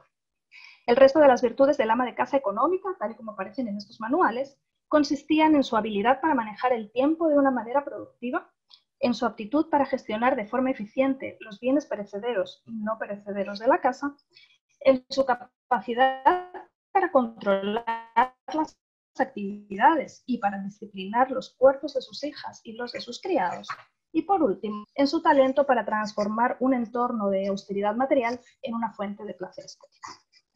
Eh, la riqueza aparece representada en estos prontuarios de prosperidad económica de precario y como un ente volátil necesita ser defendido activamente de amas de casa informadas y virtuosas, cuya función consistía en transformar el ingreso de su esposo en capital doméstico, es decir, es un capital listo para ser puesto al servicio de la reproducción de la familia en forma de consumo productivo o consumo no suntuario, digamos, en forma de preservación y de acumulación de todo tipo de propiedad y en forma de capital reinvertido. Sin este trabajo doméstico minucioso e incesante realizado por estas amas de casa productivas, no era posible que se produjera crecimiento económico, puesto que, y ahora les voy a citar eh, lo que pensaba acerca de este asunto eh, Pilar Larrabe, ¿no? y cito a Pilar Larrabe, puesto que la riqueza en manos de una mujer sin orden, sin conocimientos prácticos y sin economía, dura lo que dura el sol en recorrer un día en el espacio. Y ahí cierro la cita. Eh, me gustaría resaltar aquí eh, tres aspectos que siempre, siempre aparecen invariablemente en este tipo de manuales y que son tres aspectos que están relacionados entre sí. En primer lugar, el trabajo doméstico ya no se concibe como una labor secundaria o natural que cualquier mujer puede llevar a cabo de, eh, de forma idiosincrática o siguiendo sus propios instintos, sino que más bien se considera un asunto muy serio que debe conllevar una formación profesionalizada e impartida en instituciones especialmente capacitadas para ello. En segundo lugar, resulta claro que los proyectos de modernización impulsados por los estados centroamericanos concibieron el hogar como otra de las esferas que debía quedar absorbida y reestructurada bajo las mismas lógicas de productividad y acumulación de capital, lógicas que en última instancia debían impulsar a la región en su marcha hacia la civilización y el progreso material. Entonces, bajo estos parámetros, eh, yo más bien trato de, eh, de, ver cómo el ama de casa productiva se aparece en estos manuales como un agente económico tan importante como el empresario modernizante, ¿verdad? Y por tanto, creo que el incremento de las ocupaciones domésticas de las amas de casa a fines de siglo, que aparece muy claramente en estos manuales, no debe ser interpretado tanto como un símbolo de la persistencia de modelos anticuados o de modelos regresivos de domesticidad, sino más bien como el signo del advenimiento de la modernidad capitalista al espacio del hogar. Eh, y por último, lo que querría resaltar es que los manuales de economía doméstica construyen tanto la subjetividad como el cuerpo de estas amas de casa productivas en oposición a las subjetividades y a los cuerpos de dos arquetipos femeninos diferenciados que terminarían por ser considerados como la némesis, la antieconómica, ¿verdad?, del ama de casa burguesa. Y estas dos contrafiguras femeninas van a ser, por un lado, eh, la esposa ociosa y despilfarradora, ¿verdad?, que podemos encontrar en muchísimas novelas sentimentales, y por otro, la sirvienta improductiva y abyecta. Entonces, eh, para la presentación de hoy, por cuestiones de tiempo, me voy a olvidar por completo de la esposa despilfarradora y más bien me voy a, me voy a concentrar en la figura ¿verdad? de esta sirvienta representada como productiva y abyecta. Em, con estos manuales, ¿verdad? un poco para, para, para, seguir con el tema, contribuyeron a que la atribución de la noción de trabajo doméstico productivo recayese entonces en exclusiva en la figura del ama de casa moderna y económica. El plus de productividad de este ama de casa moderna y económica provenía directamente del tipo de formación especializada en materias de economía, de higiene, contabilidad o pedagogía que recibían las amas de casa letradas y profesionalizadas a través del estudio de la economía doméstica, que era una disciplina básicamente miscelánea que va a ir enfatizando cada vez más la necesidad de instruir a las amas de casa centroamericanas acerca de cómo educar y cómo supervisar adecuadamente a sus criados y muy especialmente a sus sirvientas. Y las sirvientas van a ser justamente los sujetos que los textos culturales centroamericanos van a ir asociando crecientemente con esta noción de trabajo doméstico improductivo. A fines del siglo XIX y coincidiendo justamente de manera simultánea con el auge de la economía doméstica en la región, vamos a asistir a la emergencia de un agrio debate público en torno a lo que se llamó eh, el problema del servicio. Este debate eh, generó una profusión de materiales culturales de todo tipo, que incluyen eh, artículos periodísticos, docenas de artículos periodísticos, fotografías, muchas fotografías y varios cuadros de costumbres, algunos de ellos escritos por intelectuales y políticos de primera fila, como por ejemplo José Milla o Antonio Batres Jaula. Las políticas de privatización de tierras comunales eh, y la disolución de buena parte de las comunidades indígenas habían liberado, ¿verdad? A raíz de estas reformas liberales, habían liberado un gran número de sujetos que pasaron a engrosar las filas del mercado de trabajo asalariado. Eh, muchos de estos trabajadores se fueron reubicando, a veces de manera voluntaria, muchas veces de manera forzosa, ¿verdad?, en las grandes fincas de café. Pero otros y especialmente las trabajadoras indígenas se integraron en los circuitos que ya estaban previamente racializados doméstico no humanos. Enseguida, ¿no? a partir de todo este proceso, eh, comenzaron a llover los ataques lanzados por las élites letradas en contra de las habilidades laborales, la, eh, moral e incluso las trabajadoras domésticas ajena. en un cuadro de costumbres que se titula justamente eh, Las criadas, ¿verdad? José Milla, que era en aquel momento el autor costumbrista más conocido en toda la región centroamericana, expresaba su nostalgia por los viejos buenos tiempos, ¿no? Del hogar cuasi colonial de su padre, donde las criadas nacían en casa, morían en casa, ¿verdad? Y entonces, eh, después de hacer esta especie de evocación eh, nostálgica de ese, de ese, de ese universo, de ese universo patriarcal casi colonial, pasa inmediatamente a expresar su frustración ante lo que él considera el ritmo vertiginoso del recambio del servicio propiciado por la liberalización de los mercados de mano de obra urbana. y empieza a quejarse de que, y ahora cito a José Milla, cada dos meses, cada 15 días y aún algunas veces más frecuentemente, hay domésticas nuevas. Y aquí cierro la cita. Justo a continuación, eh, Milla se enzarza en una crítica feroz de las nuevas ocupantes de su casa. Comienza criticando a su cocinera, la Simona, por ser incapaz de cumplir con su único cometido, es decir, cocinar algo comestible. Y continúa su diatriba, eh, su diatriba acusando a la de adentro, que se llama Pio Quinta en este caso, de robarle dinero y pequeños objetos, así como de, y vuelvo a citar a José Milla, emplear horas de horas en los recados, viniendo así a suceder que la de adentro es la criada más de afuera de las que tenemos. Cierro comillas. José Milla sigue y sigue repartiendo improperios contra la modista, contra la nodriza e incluso contra su mejor amigo por haberle sugerido que debía escribir un artículo de costumbres sobre el problema de las criadas. Y ya, notoriamente molesto, decide concluir su texto con las siguientes palabras, y cito, no sé qué puede decirse de ellas que merezca la pena ser leído. Cierro comillas. De forma similar a este escritor costumbrista, Adelaida Chévez y Pilar Larrabe de Castellanos van a aplacar sus ansiedades ante los contactos interraciales, la enfermedad y los contagios, lanzando invectivas en contra de las lavanderas y de las nodrizas. En palabras de Chévez, establecer contacto físico con las lavanderas entrañaba un gran peligro, ya que, según esta autora, y la cito a ella, las personas entregadas a esa profesión no toman ninguna precauciones, contrayendo enfermedades fatales y contagiosas, y por lo tanto no inspiran ninguna confianza. Cierro cita.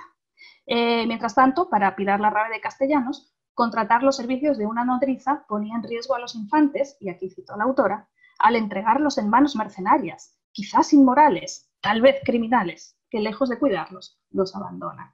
Y cierro la cita. Lo que quiero resaltar con todo esto es que la súbita liberación de una gran cantidad de mano de obra indígena en el mercado laboral urbano en combinación con los niveles crecientes de profesionalización y regulación que demandaban las tareas domésticas en los hogares modernizados, fueron la causa que provocó este intenso proceso de devaluación simbólica y material del trabajo doméstico remunerado realizado por las criadas. Ahora, el ama de casa modernizada eh, debía saber, ¿no? supuestamente debía saber cómo llevar una casa de sus sirvientas. Debía un mejor conocimiento realizar de manera eficiente cualquier tarea doméstica de índole productiva. En suma, de alguna manera, lo que podemos observar en estos manuales es la abrupta sustitución de las viejas jerarquías domésticas de regambre colonial, cuyas lógicas de desigualdad se basaban en el linaje y en el estatus, por una nueva estructura piramidal edificada en torno a las, nuevas lógicas del trabajo productivo por un lado y el trabajo improductivo por el otro. Eh, para ir concluyendo, realmente con esta presentación lo que he querido señalar han sido básicamente dos cosas.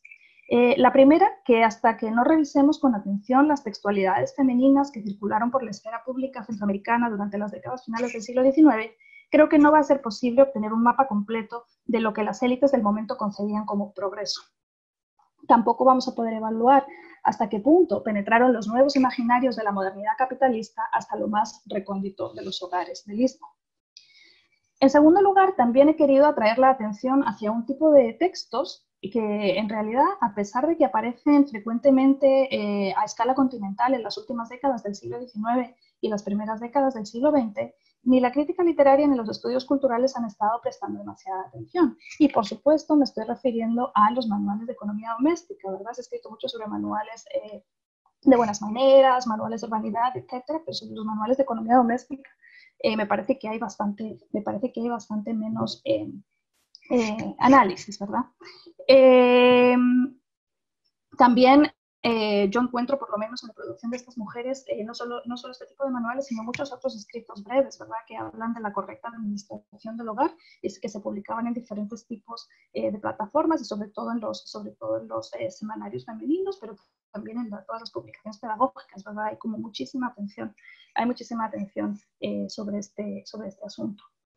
En el caso concreto que les he presentado hoy, ¿verdad? Que tiene que ver con estos manuales centroamericanos de economía doméstica específicamente escritos por mujeres, puede decirse que estas obras nos permiten comprender mejor los efectos de la diseminación de las teorías liberales acerca del valor diferenciado del trabajo en la reconceptualización de la esfera privada y en la reestructuración de los espacios domésticos del mismo. Este tipo de textos también nos muestran que, al menos en lo que respecta al caso centroamericano, las redes de mujeres escritoras fueron fundamentales en la génesis y la propagación de un modelo de hogar moderno basado en la desigualdad radical establecida entre unas damas de casa imaginadas como blancas, letradas y capaces de llevar a cabo un tipo de trabajo doméstico de índole productiva, y unas sirvientas que invariablemente se nos aparecen racializadas, representadas como ignorantes y analfabetas, como un constante peligro para el progreso económico de las familias a las que sirven y como una rémora para el progreso de la nación.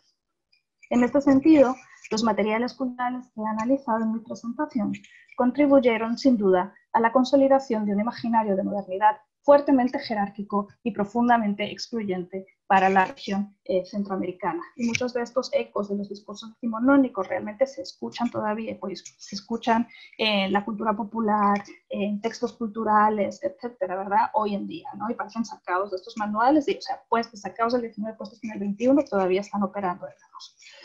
Eh, en suma, mi intención ha sido convencerles de la urgencia de incorporar el estudio de las obras producidas por las escritoras centroamericanas a nuestras discusiones sobre la producción cultural de las mujeres decimonónicas en el contexto latinoamericano, así como de la importancia de expandir el espectro de los textos, atendiendo en concreto este tipo de manuales que informan nuestros debates sobre los espacios domésticos y las ideologías de la domesticidad durante el largo siglo XIX y pues si he logrado, aunque sea parcialmente, algunos de estos objetivos, pues me alegraré mucho y aprovecho y les agradezco a, a todas su atención. Y aquí lo dejo.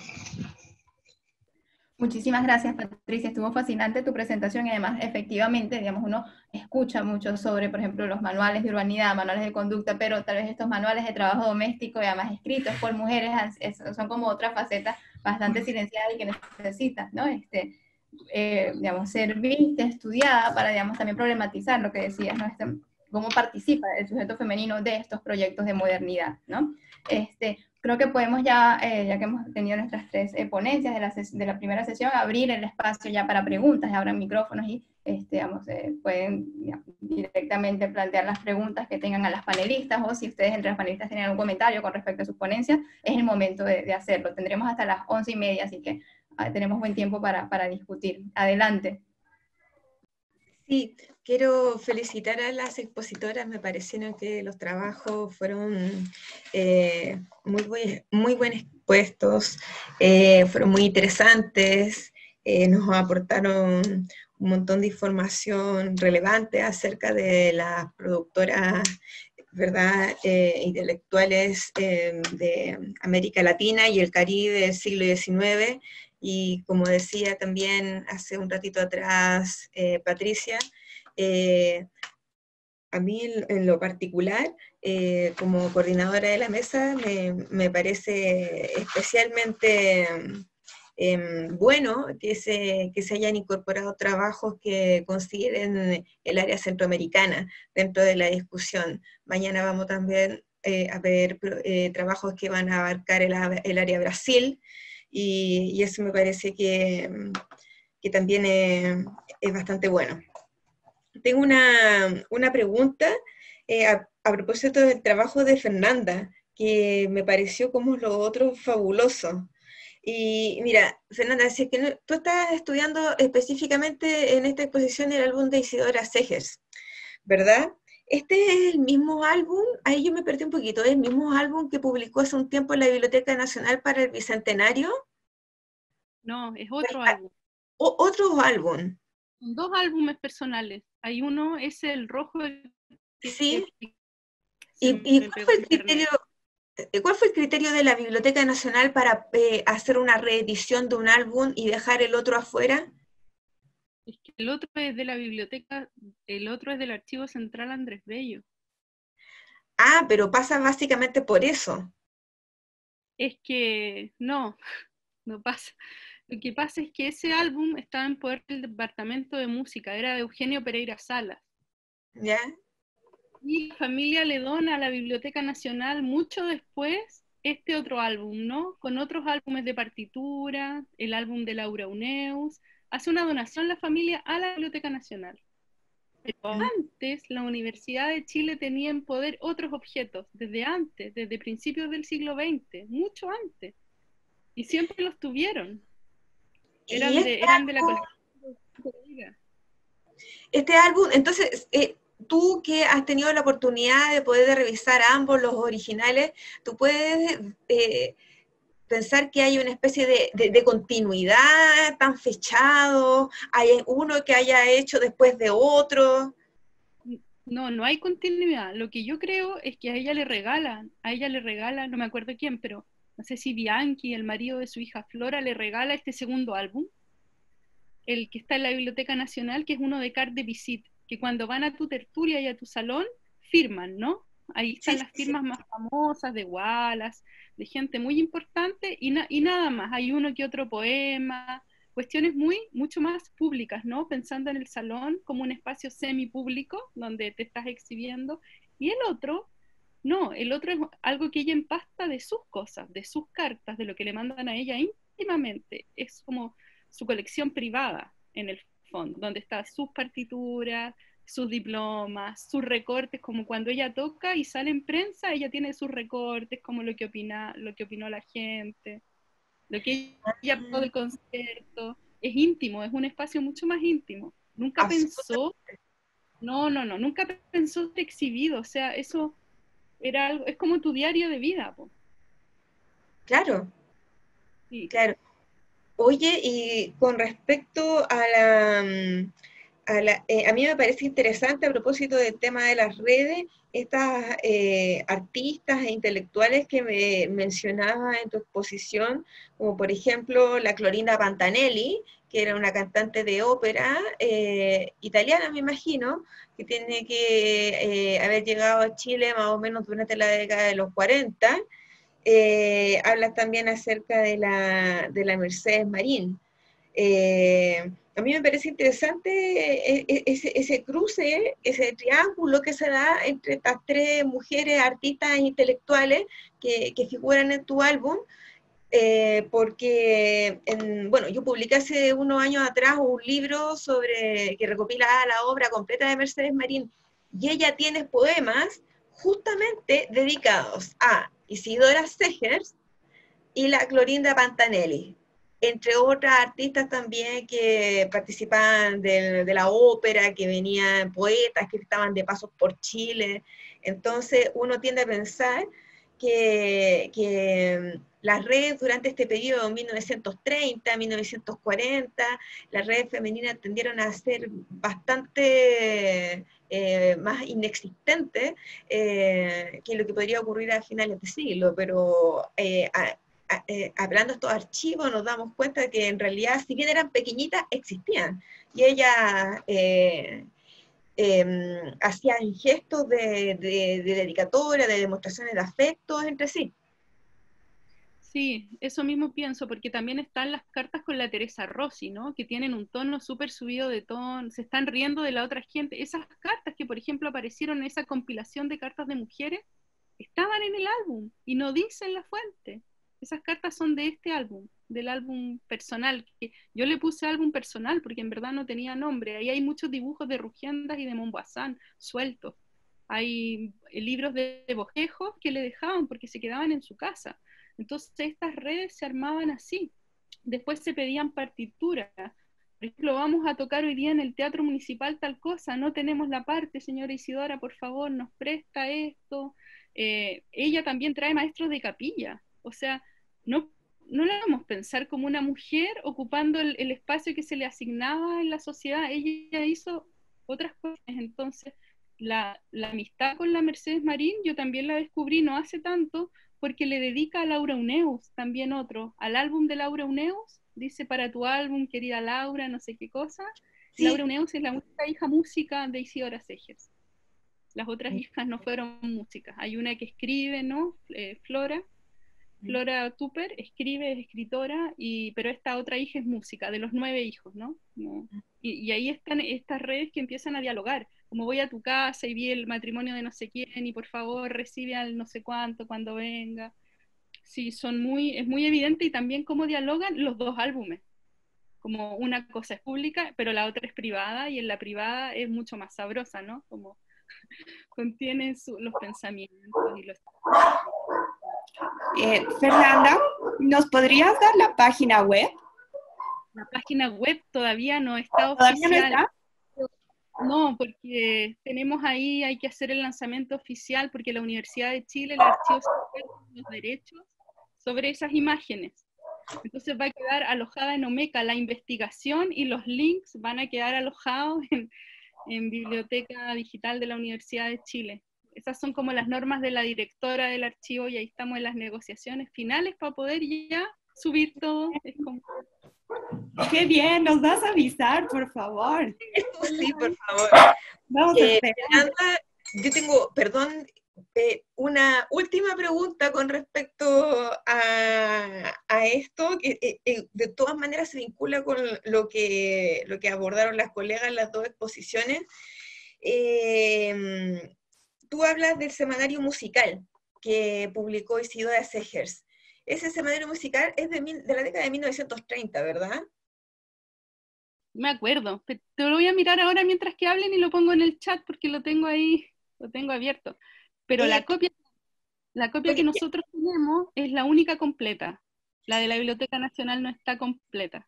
Y por casualidad, eh, este semanario en este semanario musical que ella eh, funda o dirige, eh, ¿Firma con su nombre?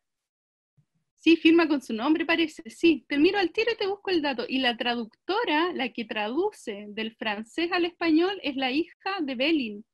Eso no sale en ninguna parte.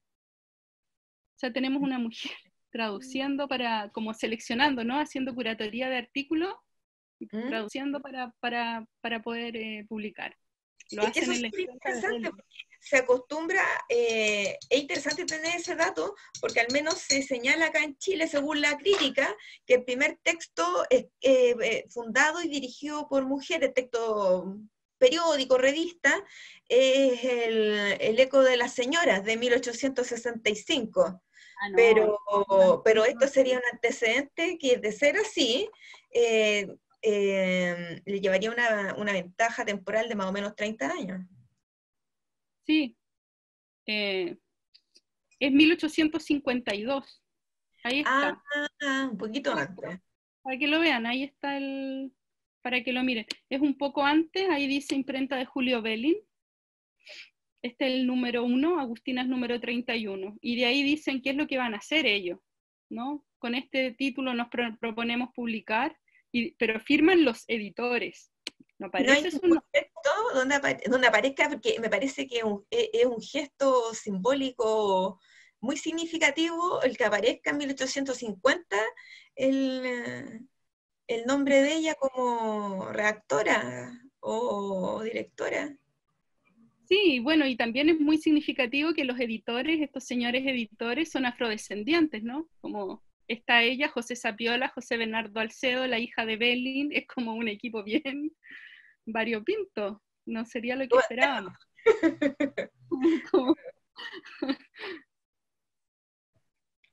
Bueno, muchas gracias Fernanda. No sé si otra persona quiere comentar algo. Yo quería como una pregunta, Joyce. ¿Mm? Claudia, la palabra es tuya. Hola a todos y todas, eh, y muchas gracias a las tres presentadoras.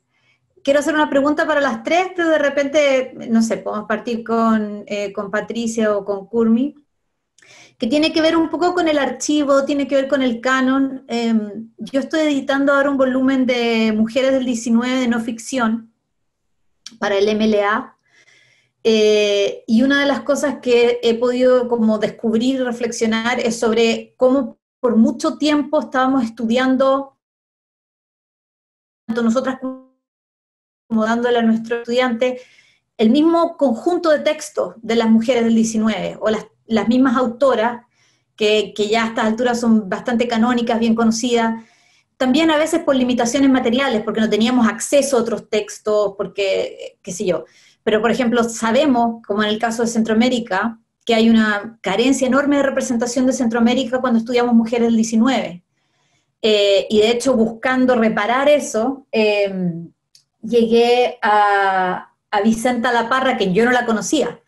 Eh, pero, y, y, por otro lado, por un lado está el canon y por otro lado está el archivo. como lo que están haciendo algunas de ustedes también. Entonces, ¿cómo este trabajo de, em, de ampliar el canon del 19 de mujeres y por otro lado traer este trabajo a archivo nos permite como una otra comprensión, otra narrativa de lo que es eh, el campo cultural de las mujeres o las redes en el 19? Yo sé que es una pregunta enorme, pero me interesa un montón de forma muy egoísta porque lo quiero pensar para este libro, pero quiero su opinión como investigadora de cómo a ustedes les ha cambiado la impresión del campo cultural en base a estos nuevos materiales o estas nuevas consideraciones. Muchas gracias por tu pregunta, Claudia. Em, en realidad, en mi experiencia, em, aquí no tenemos tradición de o sea, tenemos tradición decimonónica que recién está comenzando un proceso de canonización, pero que está en proceso. Es decir, que yo he llegado a este tema eh, sin realmente ningún referente, excepto las, eh, las letradas peruanas que creo que ese ha sido un poco el norte estos últimos años, digamos, para las investigaciones en este tema, sobre todo en la región en la que yo me encuentro, ¿no? Entonces, para mí ha sido el descubrimiento del archivo, total y puro y duro, digamos, y, ha sido un poco por, por, por, uh, eh, por, incluso yo diría por inercia, yo no las estaba buscando, ellas me han encontrado a mí porque yo estaba, como les comentaba, siguiendo em, en muchos casos a sus parejas, a, personajes con los que ellos mantienen relación y de pronto me doy cuenta de que hay una sobrerepresentación de escritoras femeninas que no había sido mencionado todavía por la crítica boliviana como tal. Nosotras tenemos algunas figuras, tenemos sobre todo a Adela Zamudio, que es finisecular. Entonces ella eh, realmente no llega a ser el prototipo de, de la letrada decimonónica ella está ya a caballo con otras tradiciones, con, con otras inquietudes realmente se proyecta también sobre el siglo XX. Entonces, em, entonces ese, era, ese era máximo el canon, ¿no? Y yo creo que ahorita, digamos, em, más bien todo esto ha permitido replantearse el tema sobre la literatura femenina en el 19. Hasta hace algunos años, y no estoy hablando de hace mucho, no estoy hablando de décadas, estoy hablando de hace unos cuatro o cinco años, eh, se dudaba que pueda existir una representación femenina demasiado fuerte en las letras bolivianas del 19, ¿no? Y cosa que después, hurgando un poquito, uno se da cuenta de que no y que siempre habían estado ahí. Tampoco ha sido un, un, trabajo de archivo. Todavía no estoy pasando a la parte fina, que serían las correspondencias, que serían, como, como mostraba Fernanda, la parte privada, pero eh, que estaban para el público, que ellas se mostraban y que, y, que, y que eran conocidas en su momento, ¿no? Entonces es interesante la relación que tú planteas, que yo creo que en muchos casos sí, sí es problemática entre la tradición asentada y las nuevas cosas, ¿no? No sé si, si Patricia quiere añadir algo. Sería, que me gustaría eh, añadir. Y bueno, en primer lugar, agradecer a Claudia por, por, la, por la pregunta. Y feliz de que estés dictando, ¿verdad? Ese libro que yo creo que va a ser fantástico para, para que todas podamos ampliar, podamos ampliar nuestro canon sobre eh, qué mujeres estaban escribiendo en América Latina y que América Latina no se reduzca a algunas partes de América Latina, ¿verdad? Porque normalmente o muchas veces eh, cuando, cuando hablamos de redes de mujeres latinoamericanas, de escritura de mujeres en el siglo XIX en el, en el espacio latinoamericano, tenemos algunas y están muy repartidas, están muy sobre representadas en ciertas áreas, ¿verdad? Como Sur, México, Perú, a ver, ¿verdad?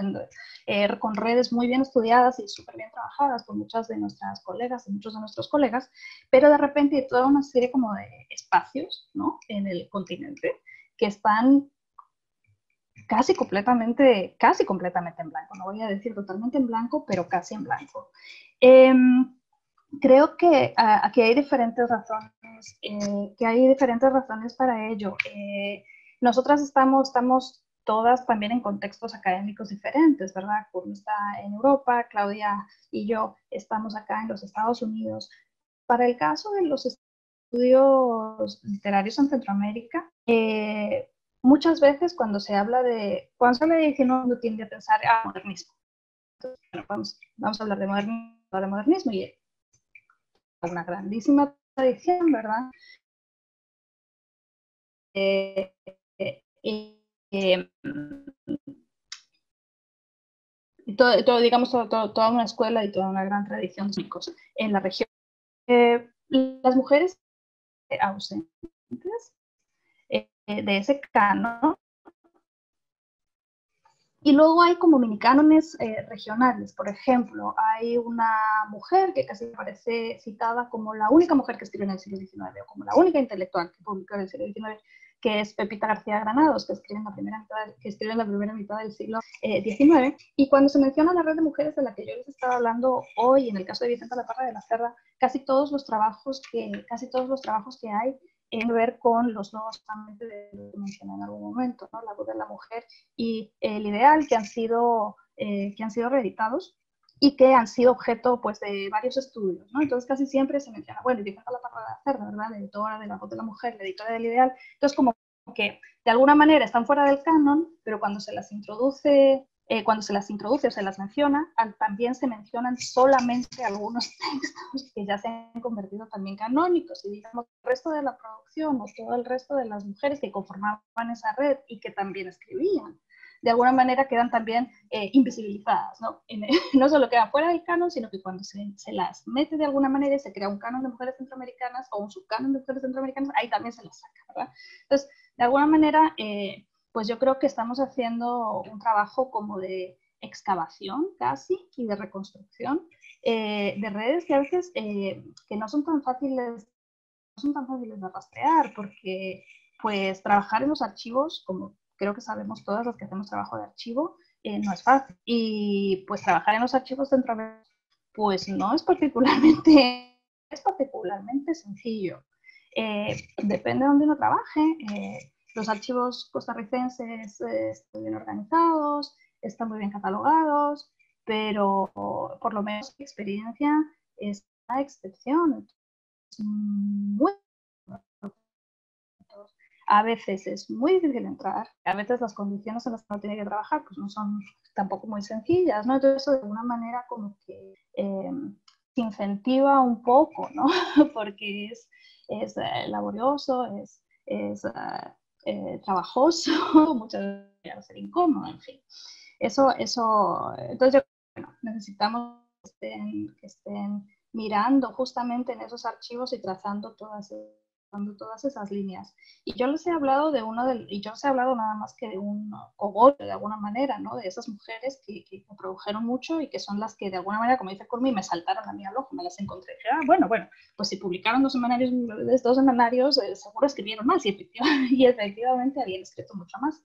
Pero hay otras. Eh, hay redes de mujeres en Honduras en torno, por ejemplo, a figuras como la de eh, que es eh, la mujer, hasta donde yo entiendo, que publicó la primera novela eh, en Honduras.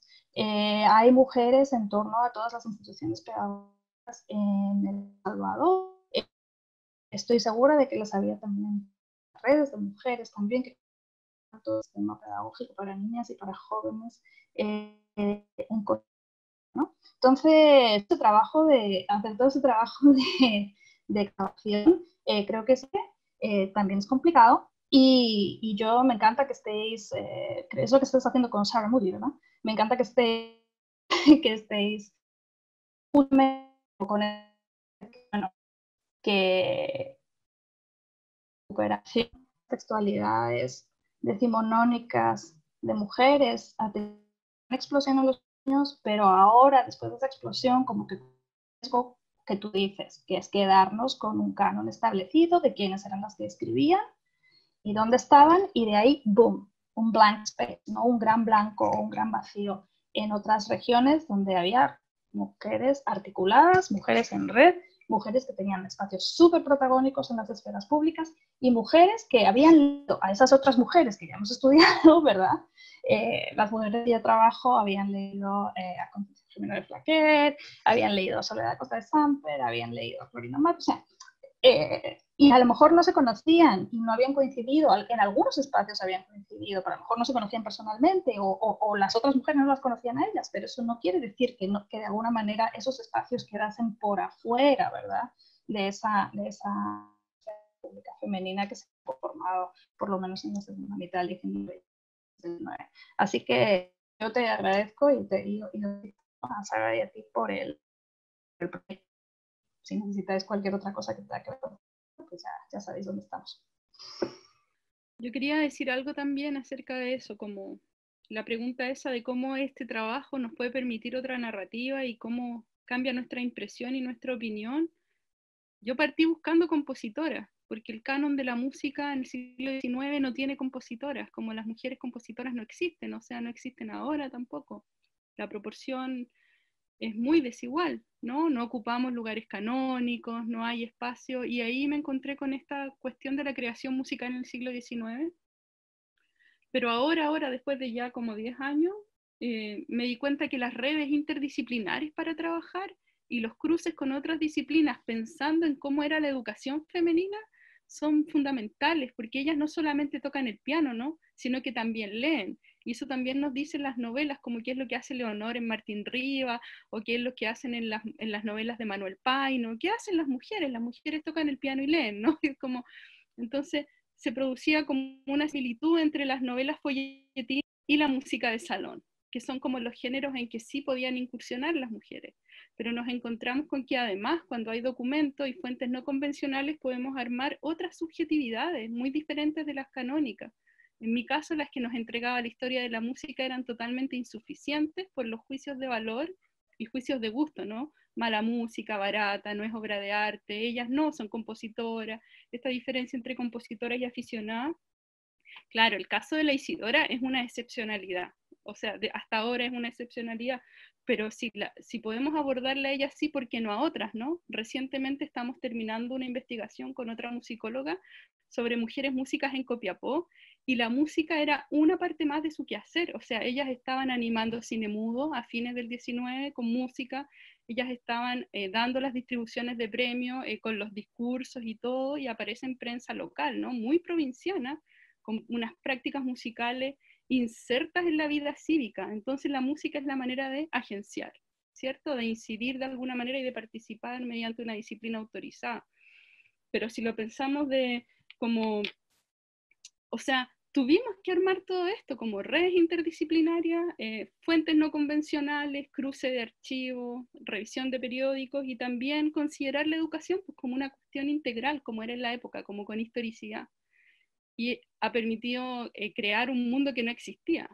O sea, poner esta música que suene, que circule en las compositoras y que además nos demos cuenta que pensaban y escribían, como es un abordaje totalmente diferente, en verdad. Como cambió todo el panorama, sabemos que había muchas más compositoras en el siglo XIX que ahora, que hasta editaban periódicos, ¿no? Como que estaban muy insertas en diálogo con otras mujeres.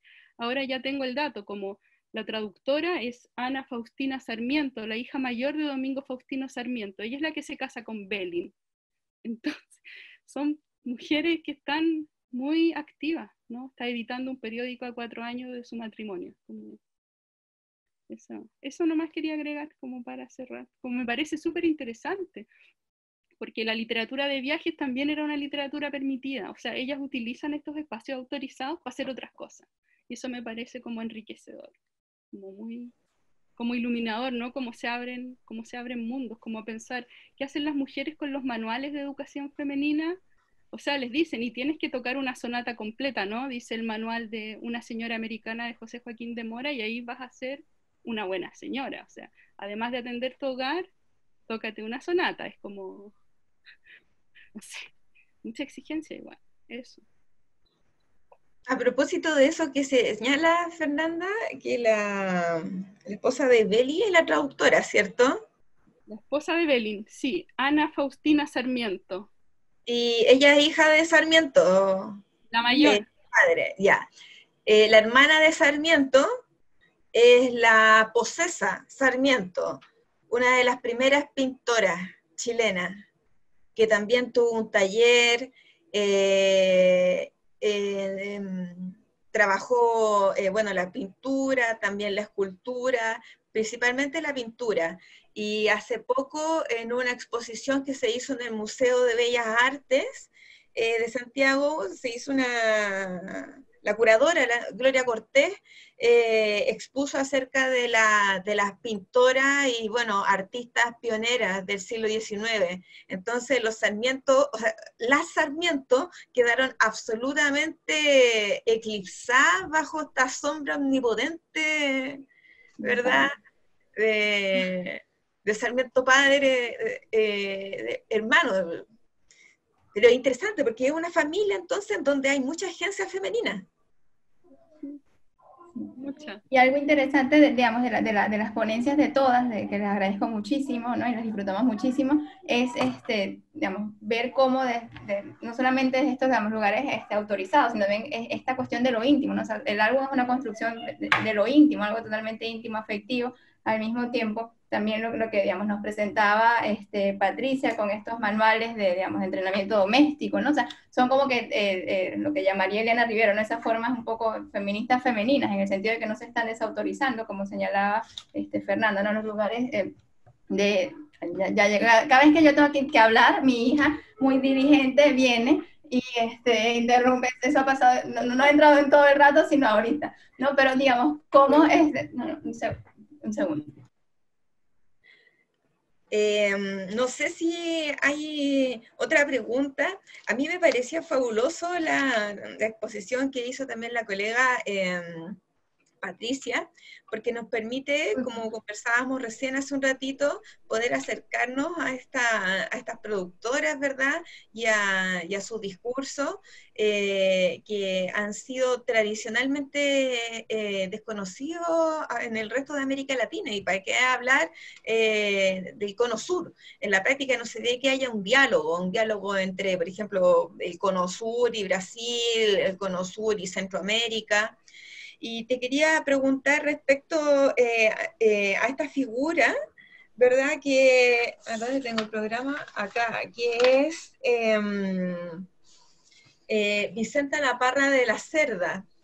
ella, además de cultivar el género de los manuales domésticos dirigidos a señoritas, em, ¿qué otro tipo de géneros cultivó? Sí, eh, gracias por tu, muchas gracias por Joyce. Em, mira, eh, justo Vicenta La Parra de la Cerda un poco le he presentado al principio con más atención, no tanto porque ese manuales de economía doméstica, que hasta donde yo he podido encontrar no, no escribió ninguno, sino más bien porque era, la, era el nodo de esta, era la, la, de esta red de mujeres en el marco de las cuales sí hubo otras mujeres, Chévez o Pilar Llanos, que escribieron manuales de economía doméstica. Entonces, un poco me he extendido con Vicenta La Parra por eso, aunque eh, textos más que tienen que ver con la administración del hogar o con lo importante que tiene en la domesticidad, etc. Ella básicamente, Vicenta La Parra básicamente era eh, poeta, Em, era eh, maestra, tiene muchos textos. Tiene muchos eran las redactoras. De, eran las redactoras de estos eh, semanarios, entonces tiene pues montones de columnas, eh, contextos, eh, ensalzando las virtudes, ¿verdad? Atacando los vicios, hablando de la coquetería, en contra del lujo, en fin, digamos, en términos de contenido se parecen mucho, se parecen mucho a otros, digamos, discursos de otras mujeres pedagogas, moralistas y regeneracionistas, ¿verdad? Que encontrar a fines del siglo XIX. Eh, Además de eso, eh, escribió varias novelas, y no las tenemos, y no las tenemos recuperadas. Hay que se han reeditado, una que se llama eh, Hortensia, otra que se Escribió varias obras de teatro también, El Ángel Caído, La hija maldita, en fin, en verso, y muchas, varias de eh, estrenadas con muchísimo éxito de público en el Teatro Nacional de Guatemala. Entonces ella era como una, como una figura como real, realmente. Era una figura muy conocida, puedes encontrar reseñas sobre sus obras de teatro, eh, no solamente en los periódicos de Guatemala, sino en los periódicos de Centroamérica, ¿verdad? Era una señora que conocían realmente eh, en, toda la, en toda la región y se la era conocida como la poetisa cautiva, ¿verdad? Y era cautiva porque entonces estaba como tenía, tenía ese problema de, movilidad, entonces estaba, estaba condenada con su silla de ruedas, entonces era la poetisa cautiva, eh, pero era como la gran dramaturga, era como la gran dramaturga eh, de la región en la época. Eh, lo que pasa es que de ahí, de toda, digamos, esa, de toda esa fama que tiene en su momento, de ahí se olvida, ¿no? Entonces no, no, o sea, sus textos quedan eh, completamente eh, abandonados, ¿verdad? Y un poco es un pasto de, del polvo en los, en, los, en los archivos, hasta que de alguna manera eh, varias, digamos, sus, sus semanarios, lo que capta, y eso es lo primero que capta es un poco donde se ha quedado también atascada la crítica de la obra de Vicente La Parra, ¿no? en, la cuestión de la, en la cuestión del estudio de sus, de sus semanarios. Sin embargo, hay mucho más. Eh, algunos esfuerzos de su obra y esos esfuerzos han interesantes eh, por parte de una asociación que ya Vicente La Parra de la Cerda, que puso su bisnieto, de ella. Entonces, claro, también es una asociación que se dedica al estudio de la figura de esta autora, pero se dedica al estudio de la figura de esta autora desde una perspectiva afectiva, familiar, de recuperación de la obra, de la ancestra, eh, de, digamos que tiene, tiene un corte, el tipo de trabajos que se está gráfico, ¿no? Y de alguna manera es muy interesante porque ha permitido, digamos, volver a poner en circulación sus textos y sacarlos del archivo, pero por otro lado, pues no es exactamente como el tipo de, como el tipo de trabajo que quizá a mí me interesa, me interesa, me interesa más. ¿no? Entonces, eh, a mí un poquito lo que me... Lo hacer con mi trabajo, lo que, o lo que no centrarme de ella, ¿verdad? Sino mirar un poquito en abanico, el nodo de esa red, miren a, a quiénes son estas mujeres, se articula esa red, esa red entre mujeres, pero también más allá de esas mujeres, ¿verdad? Que todas esas mujeres, independientemente, están súper vinculadas a personajes completamente femeniles, ¿verdad? En el momento de la reforma eh, liberal en Guatemala. Entonces, de alguna por sus propios espacios, pero también por la vinculación que tienen con estos personajes, consiguen un lugar absolutamente central.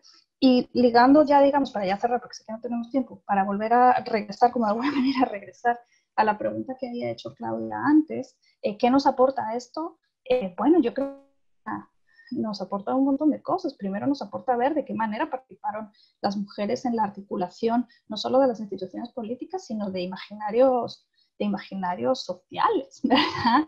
De modernidad, de, de, también, ¿no? Porque, de claro, de, imaginarios de modernidad, no solo imaginarios de nación, sino también imaginarios de modernidad, imaginarios de progreso, imaginarios de civilización, imaginarios sobre la diferencia racial, imaginarios sobre la diferencia de clase, imaginarios sobre la casa, imaginarios sobre, qué, sobre riqueza. Entonces, es como, tienen un montón de textos que inciden por completo en los grandes debates del momento.